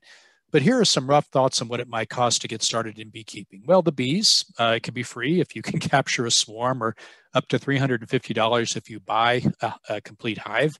The hive itself, 150 to $300 uh, accessory equipment, your bee suit, your gloves, your veil, uh, your tools. That's going to be somewhere between 100 to $300. And then hive treatment. We'll talk about Varroa here, but you need to plan on managing uh, some of the problems that can strike bees, and that includes Varroa mite and hive treatment anywhere from 20 to $200. So again, as I mentioned in the, the uh, second slide, of the uh, our, our time together, uh, there is a cost to, to getting started in beekeeping. Now, where are you going to get your honeybees from? Uh, this is a cool picture. This was several years ago when I had the opportunity to capture a swarm that was up in a tree and climbed up on my truck, put a, a pile of boxes there, put a, a, a hive body on top of that and shook them down into it and was just absolutely thrilled to get a new colony of bees. But uh, let's talk about where we can obtain honeybees. Well, we can certainly purchase a complete hive. Um, occasionally, a, an established beekeeper will, will, sell a complete hive, and typically it's going to be one deep body, the 10 frames, and then uh, obviously the, uh, the bees and the queen within. And so this can be one way to, to uh, get started in, in beekeeping. A more common way is to purchase what's called a split. And beekeepers will frequently divide colonies in the spring. Uh, it has to be done at the right time. It has to be done as the bee numbers have built because you're essentially taking one colony and breaking it into two parts, and there have to be enough bees present to support both of the new colonies. Now, I mentioned earlier there's only one queen per hive. What does this mean? Well, one queen will stay behind in, in uh, the you know one half of the split. The other part of the split has to include uh, frames that have eggs and young enough brood on that the worker bees can actually, by feeding these, these uh, young brood or the, the uh, larvae that hatch out of the eggs that are present, they can actually direct their growth into new queens. And they can do this by, by uh, uh, changing the food that they feed the, uh, the developing larvae. The developing larvae are, are, are, fed something called royal jelly, whereas, whereas worker bee brood are fed pollen. And so when the split is made, if there are some, some frames that have young enough brood or eggs in, the worker bees can sense there's no longer a queen in this new colony. They'll generate a new queen and then um, the uh, colony will move ahead from that point. Obviously, there can be some failures in doing this, and it's important to recognize that as well. But you can certainly purchase a split. we now, the questions. Go ahead. Great, thank you. Uh, Lori asks, how can you find a reputable bee seller? Is there anything to be aware of when searching for, for a bee seller? My advice in finding a reputable bee seller is to work with beekeeping associations. Here in Missouri, we're blessed with the Missouri State Beekeepers Association, and we're doubly blessed in Southwest Missouri to have the uh, Southwest Missouri Beekeeping Association. And they're both um, uh, organizations that are based upon reputable beekeepers. So check their membership lists. Um, oftentimes they will have uh, uh bulletin boards where they, they can offer services such as uh, swarm capture and also uh, equipment for sale and uh, uh, bee colony splits, or as we'll see here, nucs or uh, or other other ways of starting with bees as well. So again, it's, it's good to work with a local beekeeper who who is again reputable, and you can find out who those folks are by the membership in the various organizations. For sure. And then one more question right now. Angie asks um, that they're wanting to plant white clover as cover crop for their vegetable garden. Um, will that attract honeybees? And if so, do they need to provide a hive for them? White clover is an excellent forage plant for, for honeybees. Uh, you don't need to provide a colony. Uh, if there are feral bees in the neighborhood, they will find it. But if you do uh, uh decide that you want to become a beekeeper and you establish a colony, you'll find that they will be foraging on that, that white clover.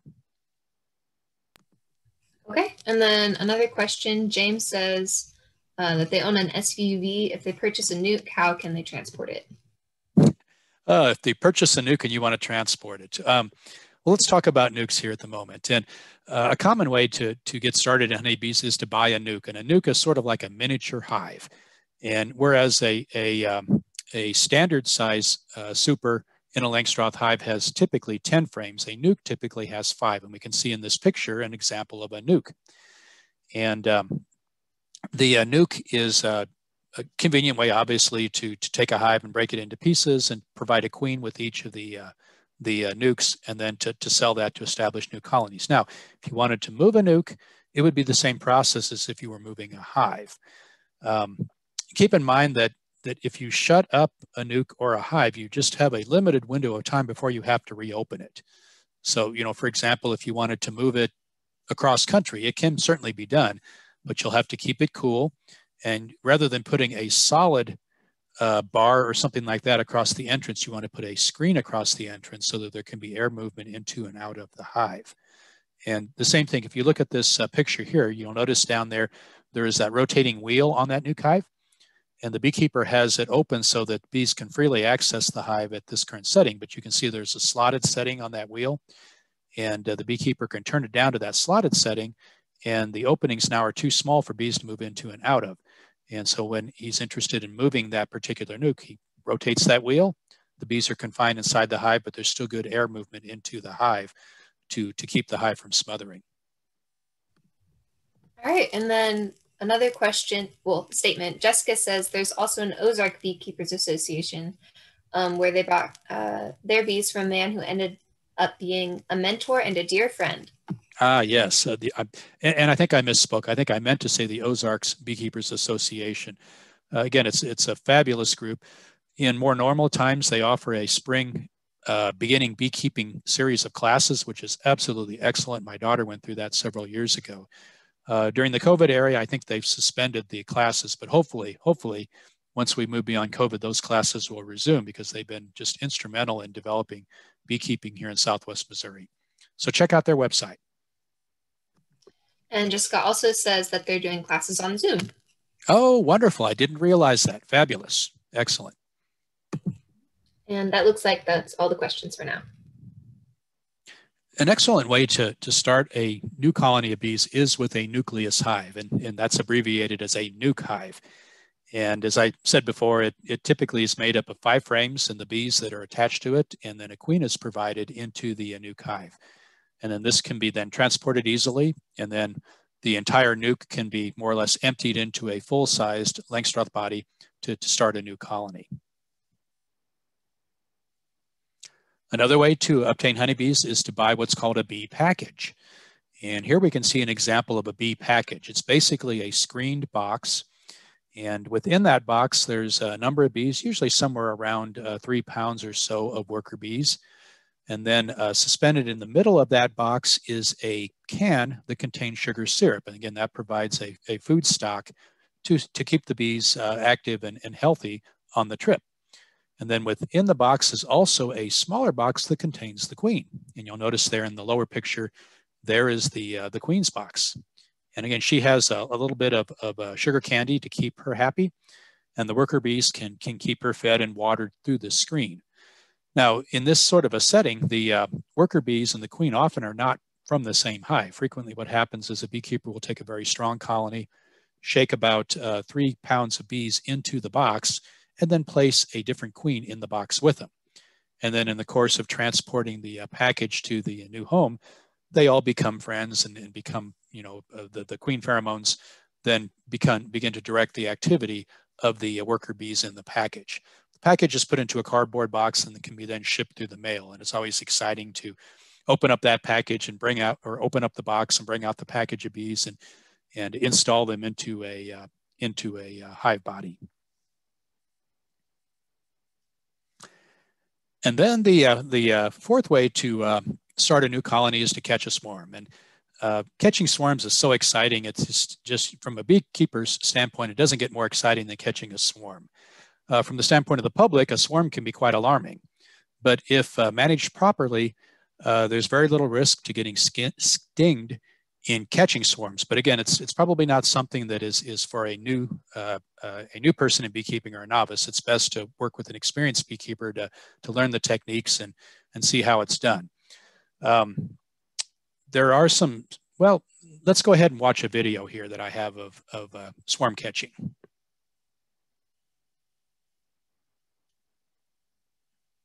And forgive me, but this will take just a moment to uh, to uh, uh, bring up the video.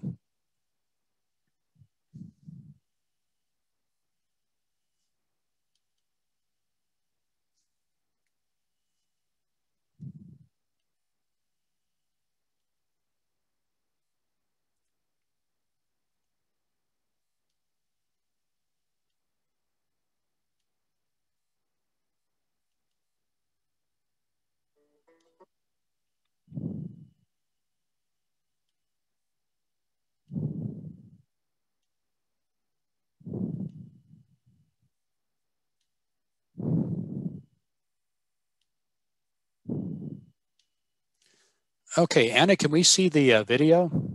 We can see it. Okay.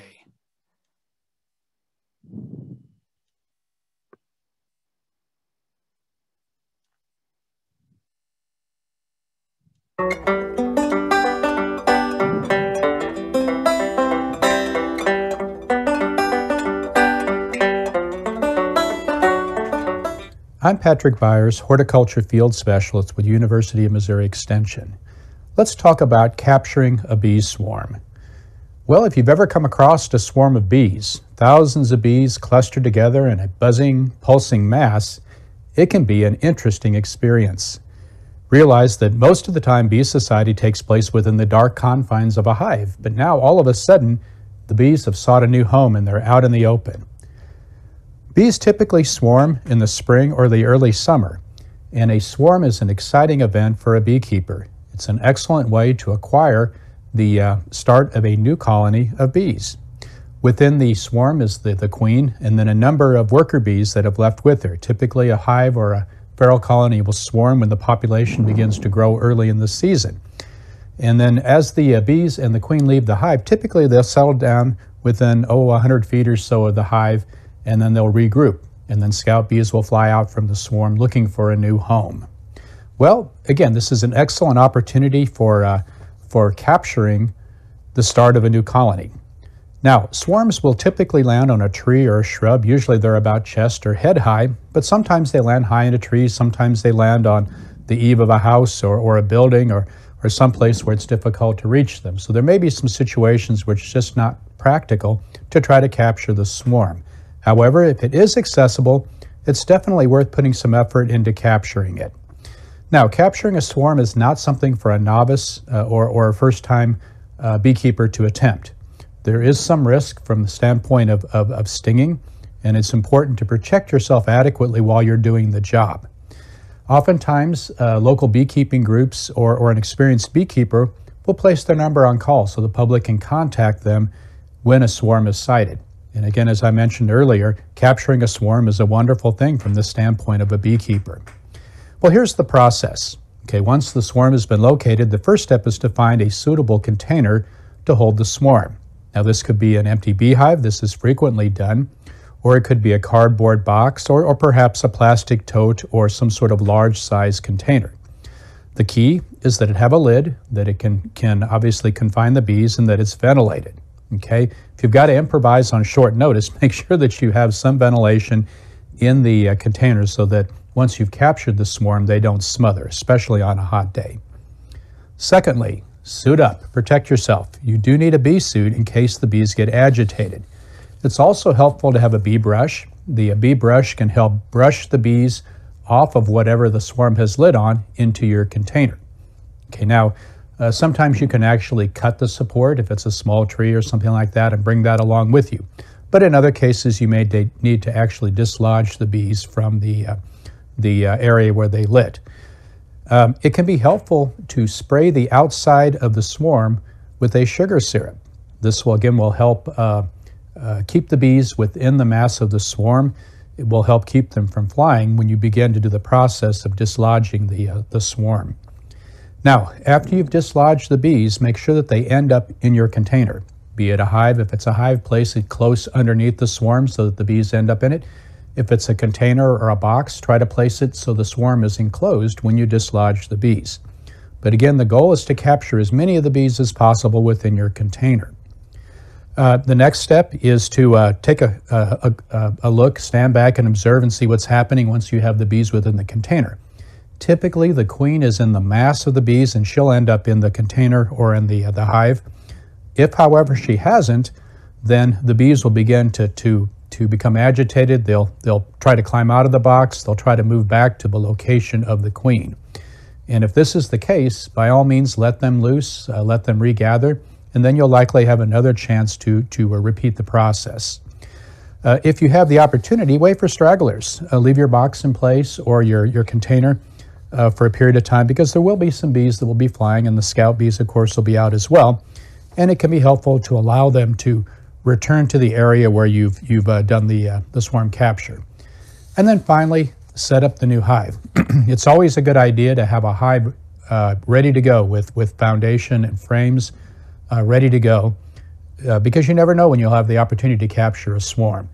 At any rate, have that hive ready and then transfer the bees into the new hive within 24 hours of capturing them. In fact, within, within as short a period of time as possible from capturing the swarm.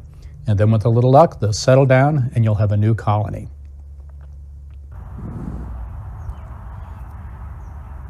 We brought the uh, swarm home inside of our can. We made sure that we kept it cool and certainly out of the sun. It would be very easy for the uh, swarm to get too warm in here and for the bees to suffocate. So now we're ready to place them into the hive. We have a hive that we previously prepared. It has uh, foundation in place and hopefully the bees will find this an attractive home and will settle in very quickly. We'll remove some frames from the center so that we have room in which to place the swarm.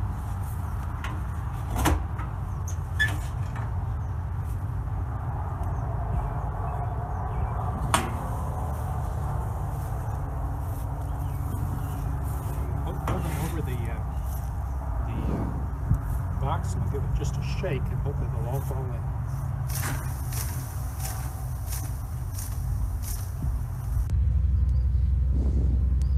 been several days since we captured the swarm and attempted to install it in this beehive. Judging by the activity, the bees seem to have adopted this as their new home. We placed a reducing bar at the hive entrance to give them just a small area to go into and out of. We've also been feeding the bees with sugar syrup. We've not opened the hive to see how things are going inside. We'll do that here in several days. But based upon the activity, the bees seem to have adopted this as their new home and we've successfully installed this swarm.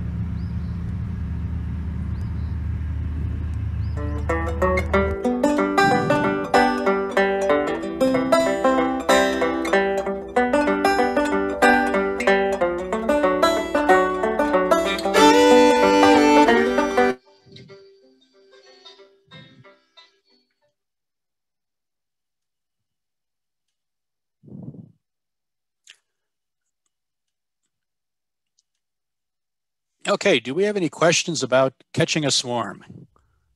One question. Oh, one question.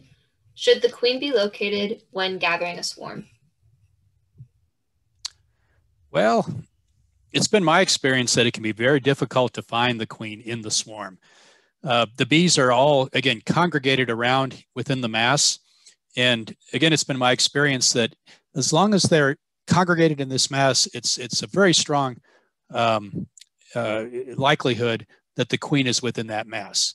I've seen situations where I've been trying to catch a swarm and and I caught part of it and and I didn't have the queen and and all of a sudden I see another small mass of bees gathering on another shrub and then all of a sudden all the bees I had in my box just took flight and flew over to that other shrub. The the pheromones that are released are just irresistible to the bees and they will congregate wherever the queen is. So oftentimes the behavior of the bees will tell you whether or not you've been successful in catching the queen. But she will be within the mass, and generally, if you handle it carefully and do a good job of getting the uh, swarm into a container, you'll you'll catch the queen. Okay. And then Bob asks, can bees from the wild be enticed into a new hive box, and if so, how? Can bees in the wild be enticed into a new hive box? Um, so what I commonly see beekeepers doing is placing what are called um, swarm catchers or uh, uh, swarm boxes just at places around their property. And these are, are uh, oftentimes they're, they're a shallow super. Sometimes there's other designs to them, but they're shallow super with the bottom with, with foundation in and with a top on that they place up in a tree. And these are, are again, uh, uh, sites that uh, scout bees will locate when a colony is swarmed and draw the, the swarm to the the uh, uh, swarm catcher. And then the beekeeper, once the bees are in there, can take it down and establish a new colony.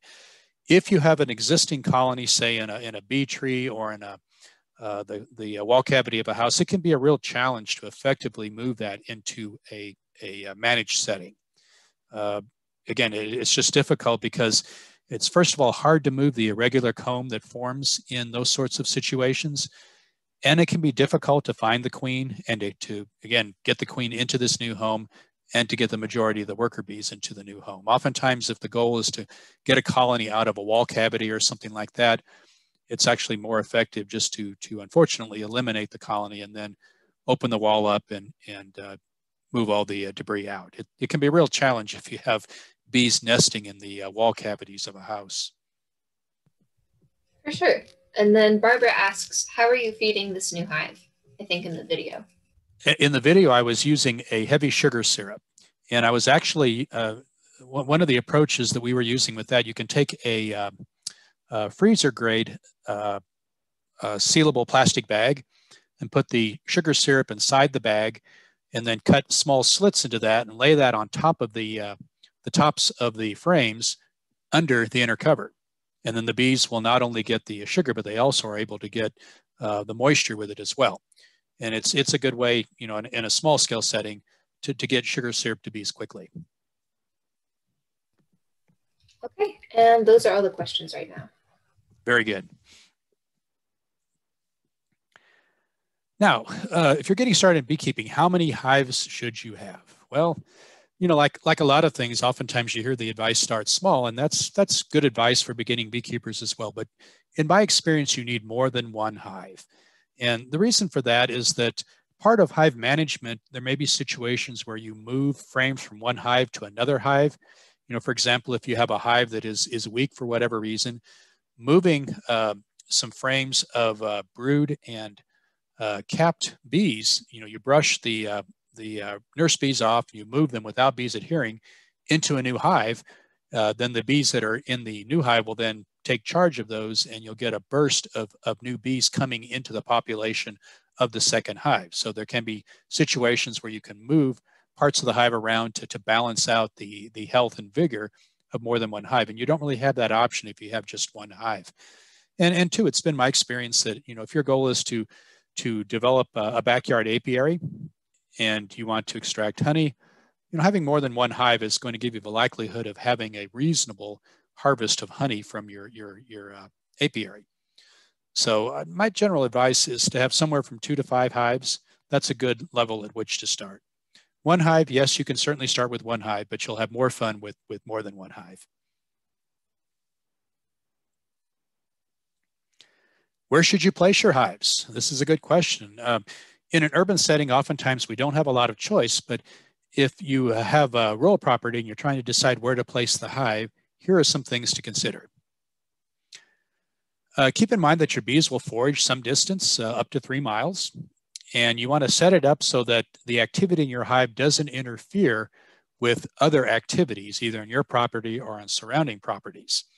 Um, we'll talk more about that when we get into the, the uh, discussion of urban bees, because that's definitely consideration in an urban setting. Bees require water, and they require a lot of water, particularly during the warmer part of the uh, year. And that water should be relatively close. Okay, it's been a, a common source of concern uh, among neighbors of beekeepers when the bees from the neighbors end up drinking water from my pool or from my bird bath or you know from some other water source on my property. So provide a water source that is close to the hives that is, is reliable and clean. Full sun is best. Uh, thinking about the hive opening, uh, particularly in urban settings, it can be helpful to have a barricade that ensures that the bees fly up and over an area. You know, for example, if your bees are, are uh, close to a property line, perhaps a fence in front of the hive will force the bees to fly up and they'll then gain some altitude before they end up over the neighbor's property. And keep in mind the bees and livestock do not mix. So there have been lots of situations where, where goats or, or uh, horses or uh, cattle have pushed beehives over. It's, it's, it's best to isolate beehives from areas where livestock are kept.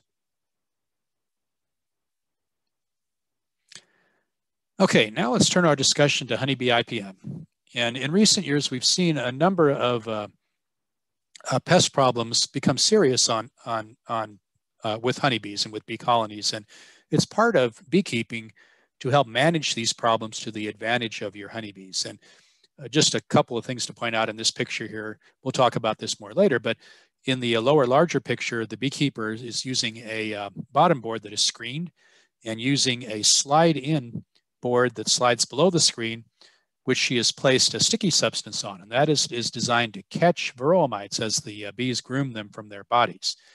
The uh, second picture over shows uh, small hive beetles. Those are the small dark beetles that are there amongst the bees.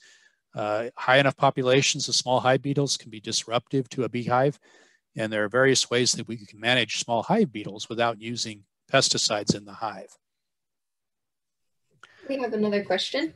Yes. Anonymous asks, can roadways be an issue with hive location? Road weights can be can be a consideration because if bees have to fly at low altitudes across the roadway, they run the risk of being struck by vehicles, particularly if it's a busy roadway. Now, there are things that can be done to help with that situation. Uh, again, putting up a, a fence that forces the bees to fly up as they leave the hive or to have some elevation as they come down to the hive can be helpful in getting bees out of harm's way.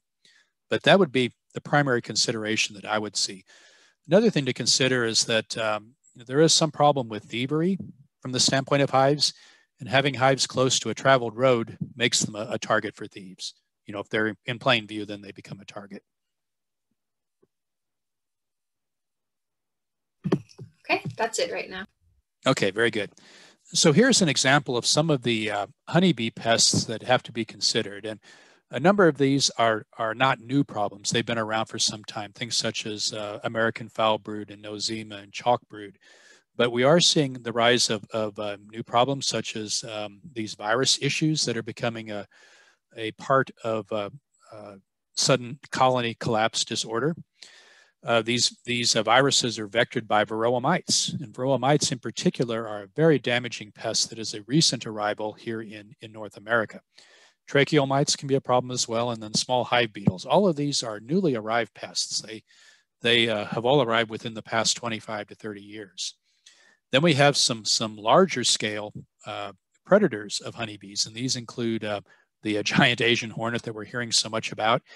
Um, yellow jackets will prey upon honeybees. There are hornets, though other types of hornets that will prey upon honeybees. And then, of course, wax moths. The larvae of wax moths will destroy the comb within a uh, honeybee hive. And then there's some vertebrate pests. Mice will shelter within hives. Uh, sometimes snakes and lizards can be found within hives. Skunks can be very damaging. Skunks will camp out at the entrance of a hive and eat the honeybees as they come and go.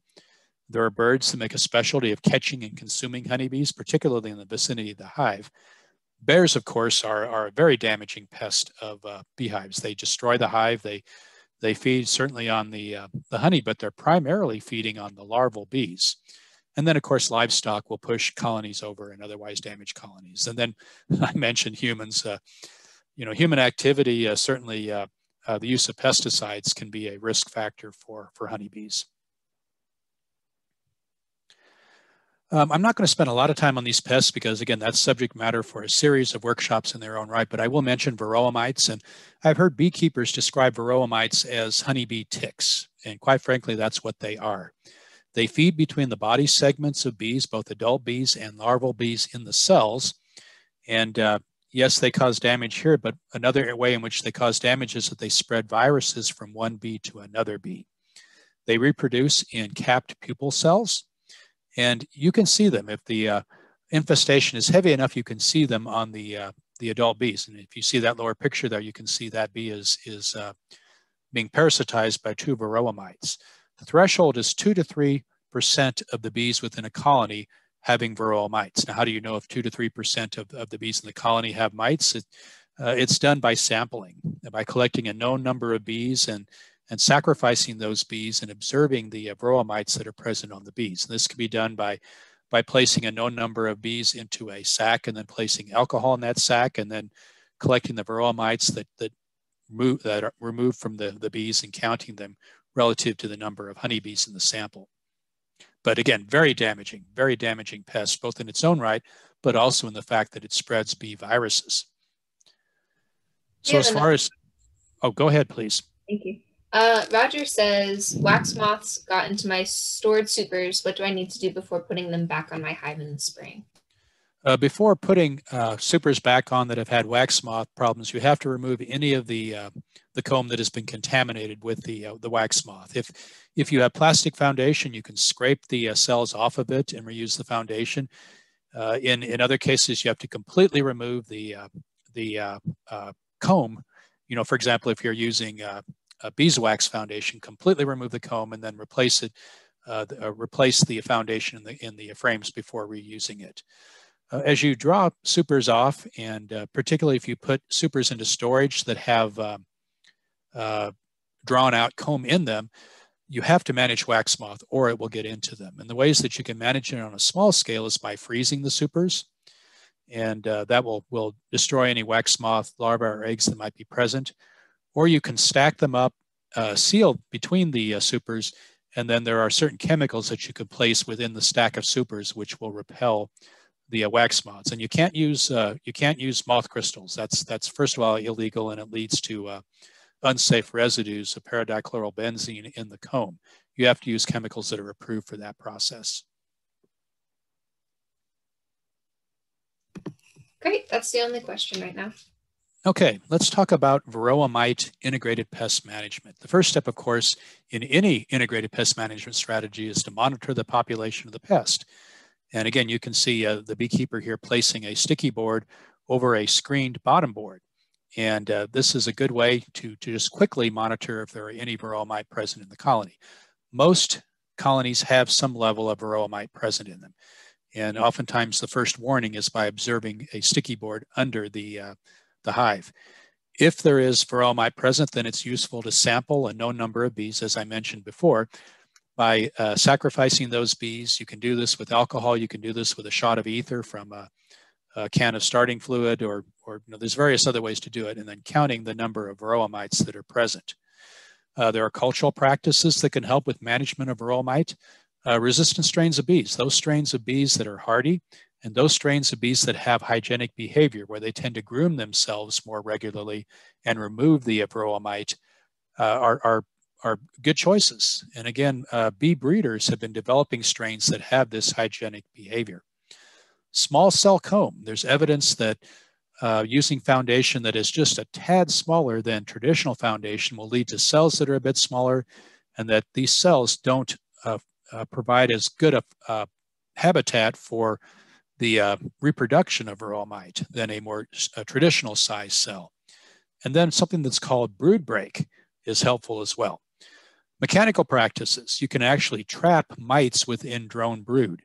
Uh, drones are, are um, uh, drone cells are larger than the cells for worker bees, and it also takes longer for the drone brood to develop. And so uh, beekeepers are actually placing frames that have a special type of foundation that has the larger size cell for drones. The, the worker bees draw it out. The eggs that are laid in those drone cells, um, uh, again, hatch into drone larvae. They become infested with varroa mite. They're capped, and at that point, the uh, cells are taken out and then they're destroyed. The, the, you know, we don't need the drones anyway, and we certainly don't need drones that have varroa mite within the cell that are reproducing. The screen bottom board is helpful. Powdered sugar, uh, dousing your, your powder or dusting your bees with powdered sugar can actually improve grooming behavior that helps uh, remove varroa mite.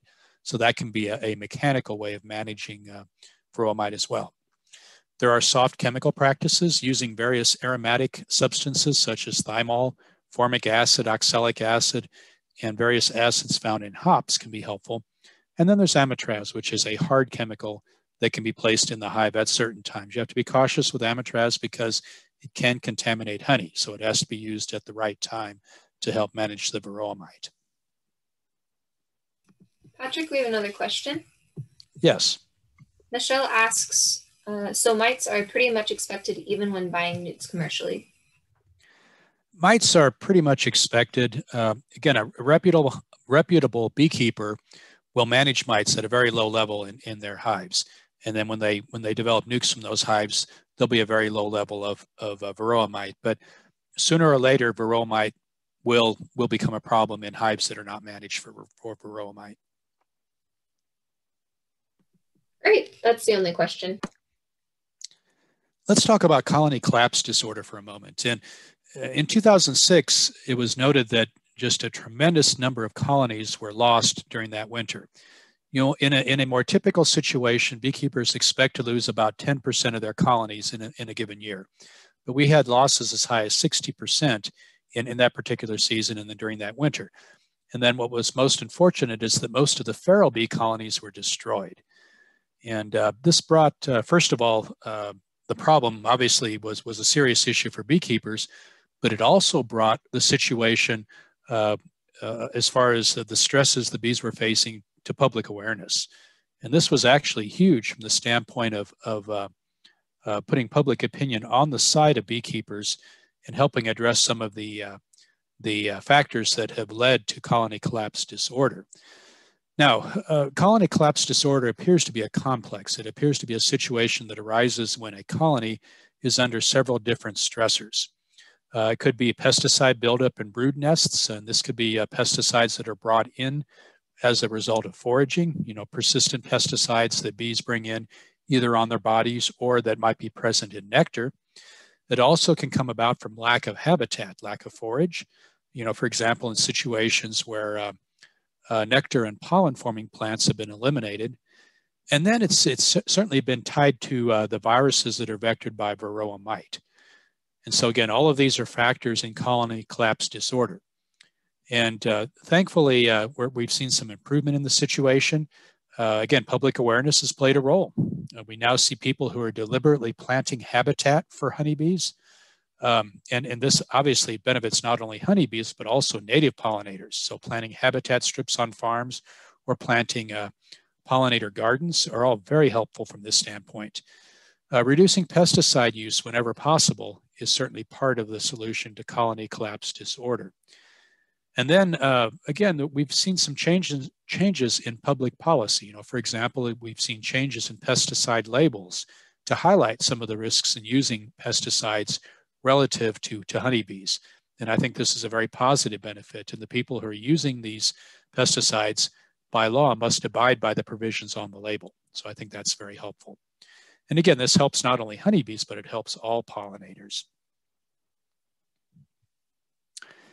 Now, again, just to, to uh, review integrated pest management, and again, as, as beginning beekeepers, we have to understand that uh, we have to manage honeybee colonies for these problems. But again, uh, we want to start with, with uh, physical management, again, things such as hives on stands, proper angles of bottom boards, screen bottom boards, those sorts of things.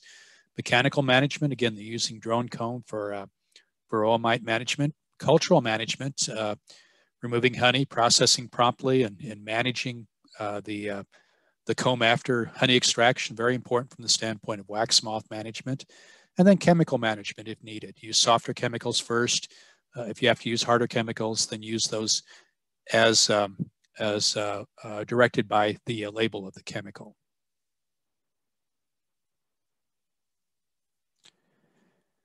Well, now let's turn our attention to pollination. And particularly for those who are thinking about beekeeping on a larger scale, it can be uh, a very lucrative aspect of beekeeping to provide pollination services. If we look at this basket of uh, produce, uh, a number of the items in this that basket are there as a result of uh, honeybee pollination. So we want to recognize the value of honeybees and pollination. So again, this is a, a link that we've known about for a long time. Again, that, that honeybee-human relationship uh, was based as much upon honey as it was upon pollination. And as far as uh, beekeepers deliberately providing pollination services, this began back in the early 1900s. Now, as uh, varroa mite has increased, we've seen a loss of feral bee populations, and this has had serious implications for, uh, uh, for example, fruit growers who are relying upon feral bees to pollinate their crops. When I first began my career uh, 35 years ago, it is now, uh, if you had a small scale orchard, in many cases, you didn't have to bring honeybee colonies into your orchard for pollination because you had lots of feral bee colonies in the vicinity of the orchard, and they would they would pollinate your, your crop for free. But with the rise of varroa mites, and particularly the colony collapse disorder, we've seen the loss of feral bee colonies. And that means that we now need to bring honeybee colonies, managed colonies, into crops to provide for pollination. Patrick, we have another question. Yes. Maggie asks, how often do you need to check your hives for issues? How often do you need to check your hives for issues? Well, you know, it's a bit of a balancing act. You don't want to open a hive up unnecessarily because it's a disruptive activity and and uh, it does take a while for a hive to to uh, recover back into normal activity after examination. But uh, I would suggest examining bees at least monthly. And if you suspect a problem, then more frequently. Great, that's the only question. So again, the uh, plants that require pollination, it's a long list of, uh, of the uh, fruits and vegetables and, and, and other crops that, that, that we're associated with that we enjoy eating and that uh, are important parts of our diet. Now, in some cases like broccoli, we don't need pollination for uh, the harvest of the broccoli head, but we do need pollination from the standpoint of developing broccoli seed for the next crop of broccoli. So even something like broccoli where we don't eat a fruit or you know a portion that was pollinated, we still have to have seed to grow that crop. And that's where honeybees come into to that place. This is an interesting map. Uh, the states that are that are uh, colored in blue are states where there's large scale production of fruits and vegetables that depend upon pollination. And the, uh, the arrows show the uh, migratory movement of beekeepers. You know, for example, uh, many colonies are overwintered in the southern US and Texas and, and Florida. And then they move out from there to different states in response to the pollination needs of crops. You know, for example, if we look at Maine, honeybees are moving to Maine to pollinate the low bush blueberry crop. Honeybees move to Michigan to pollinate crops like cherries, apples, and blueberries. And notice all of those arrows going to California. Well, what's happening in California is a huge event from the standpoint of pollination, and that is the almond bloom. And let's talk a little bit about almonds. So almonds by far have the greatest needs from the standpoint of pollination and migratory beekeepers. It's a crop that is entirely pollinated by honeybees, and it's a huge crop. 70% of the world's almonds are produced in California. And again, uh, by the early 2000s, uh, almonds demanded more bees than any other crop. In fact, more than, than the combination of most other crops. And from January to March, during the almond uh, blossoming, there are likely more colonies of bees in California than there are in the rest of the country. And in fact, we're getting close to a point where we don't have enough colonies, enough managed honeybee colonies that can be moved to California to supply the number of colonies needed to pollinate the almond crop. It's, it's actually close to a crisis situation. So again, in 2013, um, if you want to, some numbers, we needed 31 billion honeybees to pollinate the 810,000 acres of California's almond crop. That's more than 1.5 million colonies. And uh, again, as I mentioned, we're, we're at a, a situation where we're, we're, reaching a shortage of colonies. And that, of course, has driven up the uh, cost per colony for the, uh, the people who are growing almonds. And uh, those people who are supplying uh, honeybees, honeybee colonies for pollination, it's a $240 million industry, $240 million industry. And an almond grower is going to pay anywhere from 150 to $200 per colony each time one is set out. And You need um, you need several colonies per acre and a beekeeper can actually move colonies around in response to blooming of different cultivars, different regions in, in California. So again, a lot of interest in uh, migratory beekeeping into California to serve a single crop, the almond crop. What about migratory beekeeping in Missouri? Well, we don't have a lot of migratory movement of hives, but we do have beekeepers who will move colonies to pollinate uh, the almond crop in California. But much of our movement uh, here in Missouri is, is local. And we do have crops in Missouri that do uh, require uh, the uh, services of pollination, the services of, uh, of, beekeepers. And those include melons, pumpkins, apples. Uh, there are some small fruit crops like strawberries and blueberries and blackberries that benefit from the activity of pollinators. And there are certain vegetables in addition to melons and pumpkins as well. Uh, it's less expensive to rent a hive here in Missouri. It's going to be probably somewhere between 25 to $75 per colony. Watermelons, you need about one colony per acre. Uh, strawberries, one and a half colonies. Uh, apples, probably two to two and a half colonies per acre. And the exact number of, of hives needed depends upon several factors, such as the uh, topography of the orchard, the size of the orchard, and the, uh, the uh, need for cross-pollination versus self-pollination. Now, some general thoughts on, on serving a uh, fruit grower or someone else growing a crop. You don't want to place the hives until the crop flowers. In other words, about 10% bloom is the point where the uh, honeybee colony will pl be placed in the crop. You want to place the uh, hives in clusters around the field. Make sure that there's water available. As we mentioned before, water is crucial from the standpoint of honeybees. If any pesticides are being applied to the orchard or in the vicinity of the orchard, you must follow all label directions to protect the bees. And bees are vulnerable not only to insecticides, but also to other pesticides such as herbicides and, uh, and fungicides. Uh, keep in mind that single pesticides are likely less lethal to bees than mixtures. And systemic insecticides are less lethal than topically applied products. In other words, something that's applied that uh, is less likely to contact the bee itself. It tends to be less, less toxic. And again, if you're providing colonies, you want to have a clause in your pollination contract that talks about pesticide use. And if the, uh, the uh, producer is intending to use a pesticide application it's, it's good practice to notify the, the beekeeper 24 hours prior to application so that those hives can be moved out of the, the uh, planting before the pesticide is applied. Do we have any questions at this point, Anna? No questions right now. Okay. Now, in addition to pollination, there is uh, obviously the, the commercial potential of producing bee products. And this is a picture of uh, that I gathered up just just from what I happen to have at home. And you can tell I'm a I'm a, a lover of bee products, but uh, things such as honey, beeswax, and uh, other bee products can certainly offer some economic potential for for beekeepers. Let's talk about honey and honey products first. Um, honey is twice as sweet as sugar, and it's all natural. I mean, what could be better than than honey as, as a sweetener? Uh, honeybees convert nectar into honey. They collect nectar from a variety of blossoms. And you can actually develop specialty honeys based upon the uh, nectar, the uh, type of blossom that the nectar was collected from.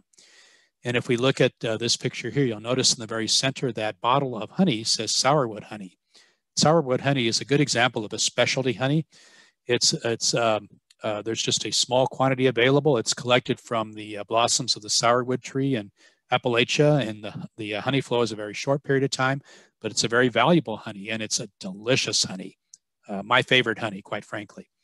But uh, uh, certainly specialized honeys offer opportunity. Now keep in mind that honey may crystallize, but it really doesn't spoil if it's stored properly. Um, as far as honey products, uh, you could certainly sell liquid honey as we see in that middle bottle. Over to the, uh, the uh, right is an example of creamed honey or whipped honey. And creamed honey is, is uh, produced by uh, taking very small crystallized uh, particles of very small, very small crystals from crystallized honey and blending it with liquid honey. And then through the, the process, you develop a smooth, spreadable product that, again, is absolutely delicious. In that case, that's a jar that I brought home from a trip to, to Hawaii that was made from, uh, from uh, ohia blossoms. And then in, you can also uh, market what are called comb honey products. And that little bowl there is a couple of pieces of uh, comb honey. And this can be marketed as chunks of, of, uh, of comb honey that's cut out of frames.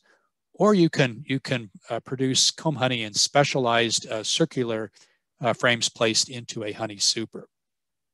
You can also collect chunks of comb honey and suspend it in jars of liquid honey. But again, lots of different options from the standpoint of honey and honey products.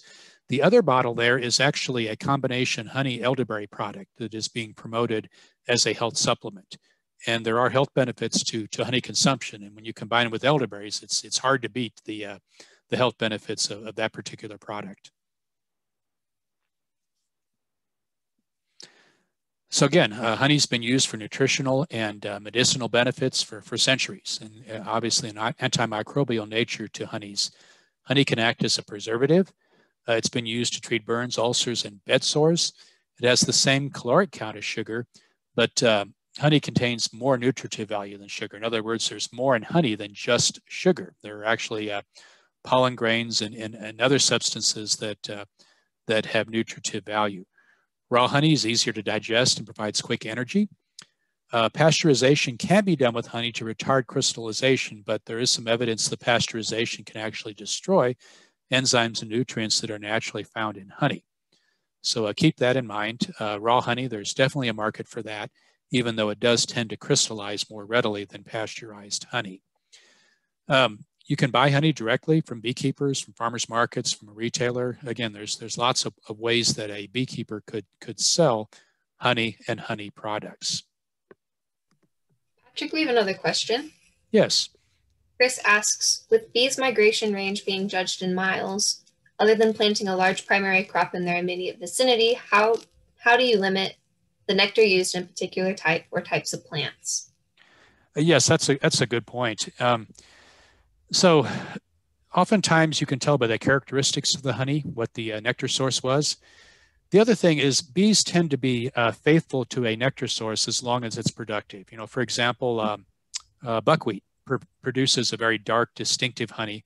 And when buckwheat blossoms, there are lots of flowers and bees will actually remain faithful to the buckwheat honey flow until it's done flowering. The same thing happens in the spring when blackberries blossom here in, in Southwest Missouri. Uh, in the case of sourwood, it flowers um, at a time when there's not much else flowering in the vicinity of those trees. And it's also a tree, it, you know, it's, it's flowering in a forested area where you don't have a lot of other plants uh, flowering on the ground.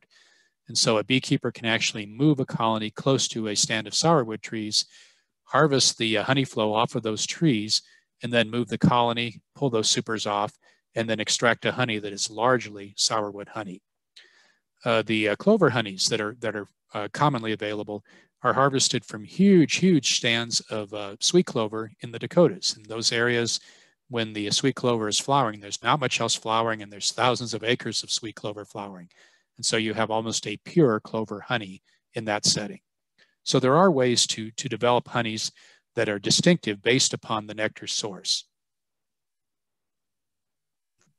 Great. And we have another question from Jessica who asks, what do you know about Manuka honey? What do I know about Manuka honey? Other than I've tasted it and I know it's delicious, I don't know much about it. That's fair. That's respectable. Um, those are all the questions we have right now. Okay. Actually, we have one more. Yes. Um, do you have a quick list of the top several effective primary nectar sources that would be beneficial to plant? We have horses as well, but certain crops are not ideal for horses, for example, clover. Well, you know, from the standpoint of effective plants, those are the plants that produce an abundance of blossoms and an abundance of nectar. Uh, many of the plants that are legumes in the clover family fit that bill. Uh, buckwheat is another excellent example. Um, the uh, there there are field crops that can be uh, effective uh, nectar sources such as alfalfa and soybeans. Uh, keep in mind that with field crops, there, there can be the risk, obviously, of pesticide applications that might impact bees that are foraging in those areas, but those two crops can be a good source of, of nectar. Uh, here in Southwest Missouri, there's typically a good, strong spring nectar uh, honey flow on blackberries. And so, you know, if you have uh, areas where there, there are stands of native blackberries, those can be a good nectar source as well. Uh, there are a number of, of commonly grown garden flowers that are good nectar sources. There are uh, commonly grown garden flowers that are good pollen sources as well. And keep in mind that pollen is just as important from the standpoint of, of colony health as, as uh, uh nectar is. So those plants that produce an abundance of pollen are certainly helpful, uh, as helpful as those plants that produce an abundance of, of nectar for honey. Sure. And a follow up question on that from Anonymous uh, just asks sunflowers. Sunflowers are an excellent pollen source. And you can, you can, um, now I have to qualify that because there are sunflower strains that have been developed that are pollenless. And obviously, those are not going to be a good source of pollen. But uh, sunflowers are a much better pollen source than they are a nectar source for honeybees. But you will frequently find honeybees foraging on sunflowers for pollen. Great. And then Dana asks if you've ever had Tupelo honey. Oh, Tupelo honey. Yes, uh, Tupelo is, uh, uh, again, another forestry. It, it uh, flowers in the spring, and it can be, a again, if it's present in large enough stands like sourwood, it can be the source of a very distinctive honey. It tends to be a milder honey, but again, very delicious. For sure. Okay, looks like those are the questions for now. Another important bee product is beeswax, and bees produce wax from glands in their abdomens. And uh, particularly with uh, newly established colonies and swarms, they can produce large quantities of wax in a fairly short period of time. And, and obviously, when we think of beeswax, we think of candles, but beeswax is also used in facial creams, lip balms, soaps, lipsticks, uh, various other cosmetics. and it has a use in pharmaceuticals. Uh, it's used in for, for dental applications too, and, and also for building. And uh, I always remember my grandmother, uh, she would keep a, uh, a button of beeswax close at hand and she would wax her threads as she was uh, quilting because it helped the thread slide easily through the fabric as she was quilting. So again, another use for, for beeswax. Other bee products uh, from the standpoint of commercial production, there's a market for, for bee pollen. And uh, bee venom, interestingly enough, has medicinal benefits, and there's some interest in research into uh, some of those medicinal aspects of bee venom. Uh, you can, there's a market for the bees themselves from the standpoint of producing nucs or split colonies. Propolis, which is again that material that I mentioned before that bees use to uh, glue portions of their hives together, actually has some medicinal benefits as well, and it's used in uh, uh, toothpastes and, and, and, other preparations. And then royal jelly, which is the the uh, uh, foodstuffs that uh, worker bees develop to feed developing queens. Uh, royal jelly has some medicinal benefits as well. So again, these are other bee products that could be produced and marketed.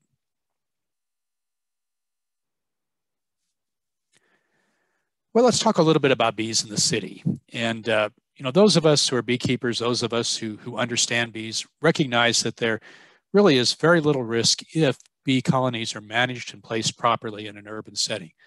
But even so, for a, good part of the public, the uninformed public, the idea of bees being close at hand is a bit scary. So it's important to, to think about some of these aspects before we start establishing colonies in urban settings. So the first step, of course, is to check the city ordinances. Uh, there are cities that have been very proactive in allowing uh, urban beekeeping, and then there's others who have laws in the book that prohibit beekeep bees, bee colonies within city limits. So it's important to check the city ordinances first. Secondly, always, always have water available close to the colonies. As I mentioned before, nothing is more, uh, more uh, annoying to neighbors than having bees clustering around a swimming pool or, or a fountain or, or uh, a bird bath. And if you don't have water available, bees will seek it out. Position hive openings away from the neighbors. If, if possible, turn hive openings to the center of your property rather than towards the neighbors. Do what you can to alter flight patterns. As I mentioned before, if you place a barrier in front of the hive, it'll force the bees to fly up and gain altitude as they move out on their foraging flights. Educate your neighbors, invite them over to, to check out your hives and share with them some honey and, and just talk about bees and how exciting and how interesting they are and how valuable they are from the standpoint of pollination. And uh, before long, who knows, you may make some converts and pretty soon your neighbors will be keeping bees. And then again, very important to keep gentle bees only. You know, focus on those strains that are known for their gentleness. You certainly don't want bees that are aggressive or that are uh, that are um, uh, where it's easy to trigger defensive reactions among the uh, the bees in the colony. This is an interesting picture here. I had a chance to visit a community garden in Kansas City that had several beehives, and you know, you think about uh, beehives in a community garden and you can you, know, you can think about some potential problems but this garden was very proactive and they actually placed their hives on top of tall poles. These poles were about 15 feet off the ground. And this did a couple of things. Obviously it altered the flight patterns of the bees so that they were well up into the air as they moved into and out of the hive. Uh, secondly it kept the hives up where they were protected from vandalism. And that certainly is a consideration in a community garden now, it was possible to raise and lower these colonies so that uh, that the uh, uh, community gardeners could examine the bees. These were actually telescoping posts. I thought it was a very creative way to uh, to have bees present in a community garden setting. Well, I thought I'd uh, check out the uh, laws in Springfield, Missouri, and I, I couldn't find uh, anything more recent than 2014. But according to the uh, the uh, Springfield Public Library and their listing of uh, beekeeping laws, this is what the laws read in Springfield, Missouri. You are allowed two hives on a lot that is at least 5,000 square feet, which is nice because, as I said before, it's nice to work with more than one hive of bees. And for every additional 5,000 square feet of property, you can have an extra hive. So again, if you have a large city lot, there may be the potential to have several hives. Secondly, you have to know what you're doing. The law actually requires persons owning a hive to provide proof that they've had at least two years of experiencing managing a colony of bees without reported incidents, or they've completed a beekeeping training course through a beekeeping association, an academic institution, or through a university extension program. And then all hives must be labeled with the owner's name and address. Okay, so that's the first part. And here's the second part. The beehives must be located in rear yards. So you can have bees in your backyard, but not in your front yard, at least five feet from all property lines. The hives must be inside a fenced enclosure that is at least 42 inches high. Again, here's an effort to alter the flight patterns of the bees and also to protect the bees from, from vandalism or from uh, perhaps children, you know, getting too close to the, uh, the hives. If the hive is located within 20 feet of a property line, a six foot tall barrier that extends at least 20 feet in both directions is required. Again, an effort to alter flight patterns so that the bees are well up into the air before they move across a property line. And then a usable water supply for the bees should be located on the owner's property. And again, as I said before, that just makes common sense. So yes, it is possible to keep bees in Springfield, Missouri. In fact, uh, I would encourage you to consider it if you're an urban beekeeper in Springfield. So we'll close out with some five common mistakes to avoid. First step, I'm not sure why I am keeping bees. well, before buying the, uh, the, the first piece of woodenware or uh, or uh, considering where you're going to source your honeybees from, make sure you know why you're keeping bees. Are you a hobby beekeeper? Are you a backyard beekeeper? Are you perhaps thinking about commercial scale beekeeping? And the reason this is important is because this is going to guide, first of all, your training. And, and secondly, uh, you're going to have to be thinking about things in addition to just keeping bees if you're thinking about the commercial aspects of keeping bees. Secondly, there's only one way to keep bees. That's certainly not true. There are lots of ways to keep bees. As I uh, mentioned in the presentation, just looking at different types of hives alone, lots of different types of hive construction, lots of different um, uh, types of bees to keep, lots of different ways to actually manage hives. Third, I need to learn everything about bees before I start. Well, it's certainly good to have some basic understanding of beekeeping, but a lot of, of uh, beekeeping skills come with practice. They come with hanging around other beekeepers, and they come with jumping in and, and buying or, or establishing that first colony and then that second colony and, and learning about what beekeeping is all about. So you don't have to know everything before you, you start. Uh, fourth, I have to have all of the equipment. I've got to have all the bells and whistles. I've got to have everything. Well, that's certainly not true. As I mentioned in the videos, yes, you do need some woodenware. Yes, you do need some basic protective equipment and some basic tools. And yes, you do need honeybees, but that's basically all you need. And you don't have to, again, you can keep the cost under control. And then finally, I don't want to spend money on bees. Well, as I mentioned before, it's important to remember that there is a cost to, uh, to beekeeping and that you want to keep that in mind is I'm losing my voice. It's a good thing we're close to the end of the presentation. So at this point, I will I will thank you and uh, give me a quick pause here to regain my voice, and then we'll we'll tackle any questions.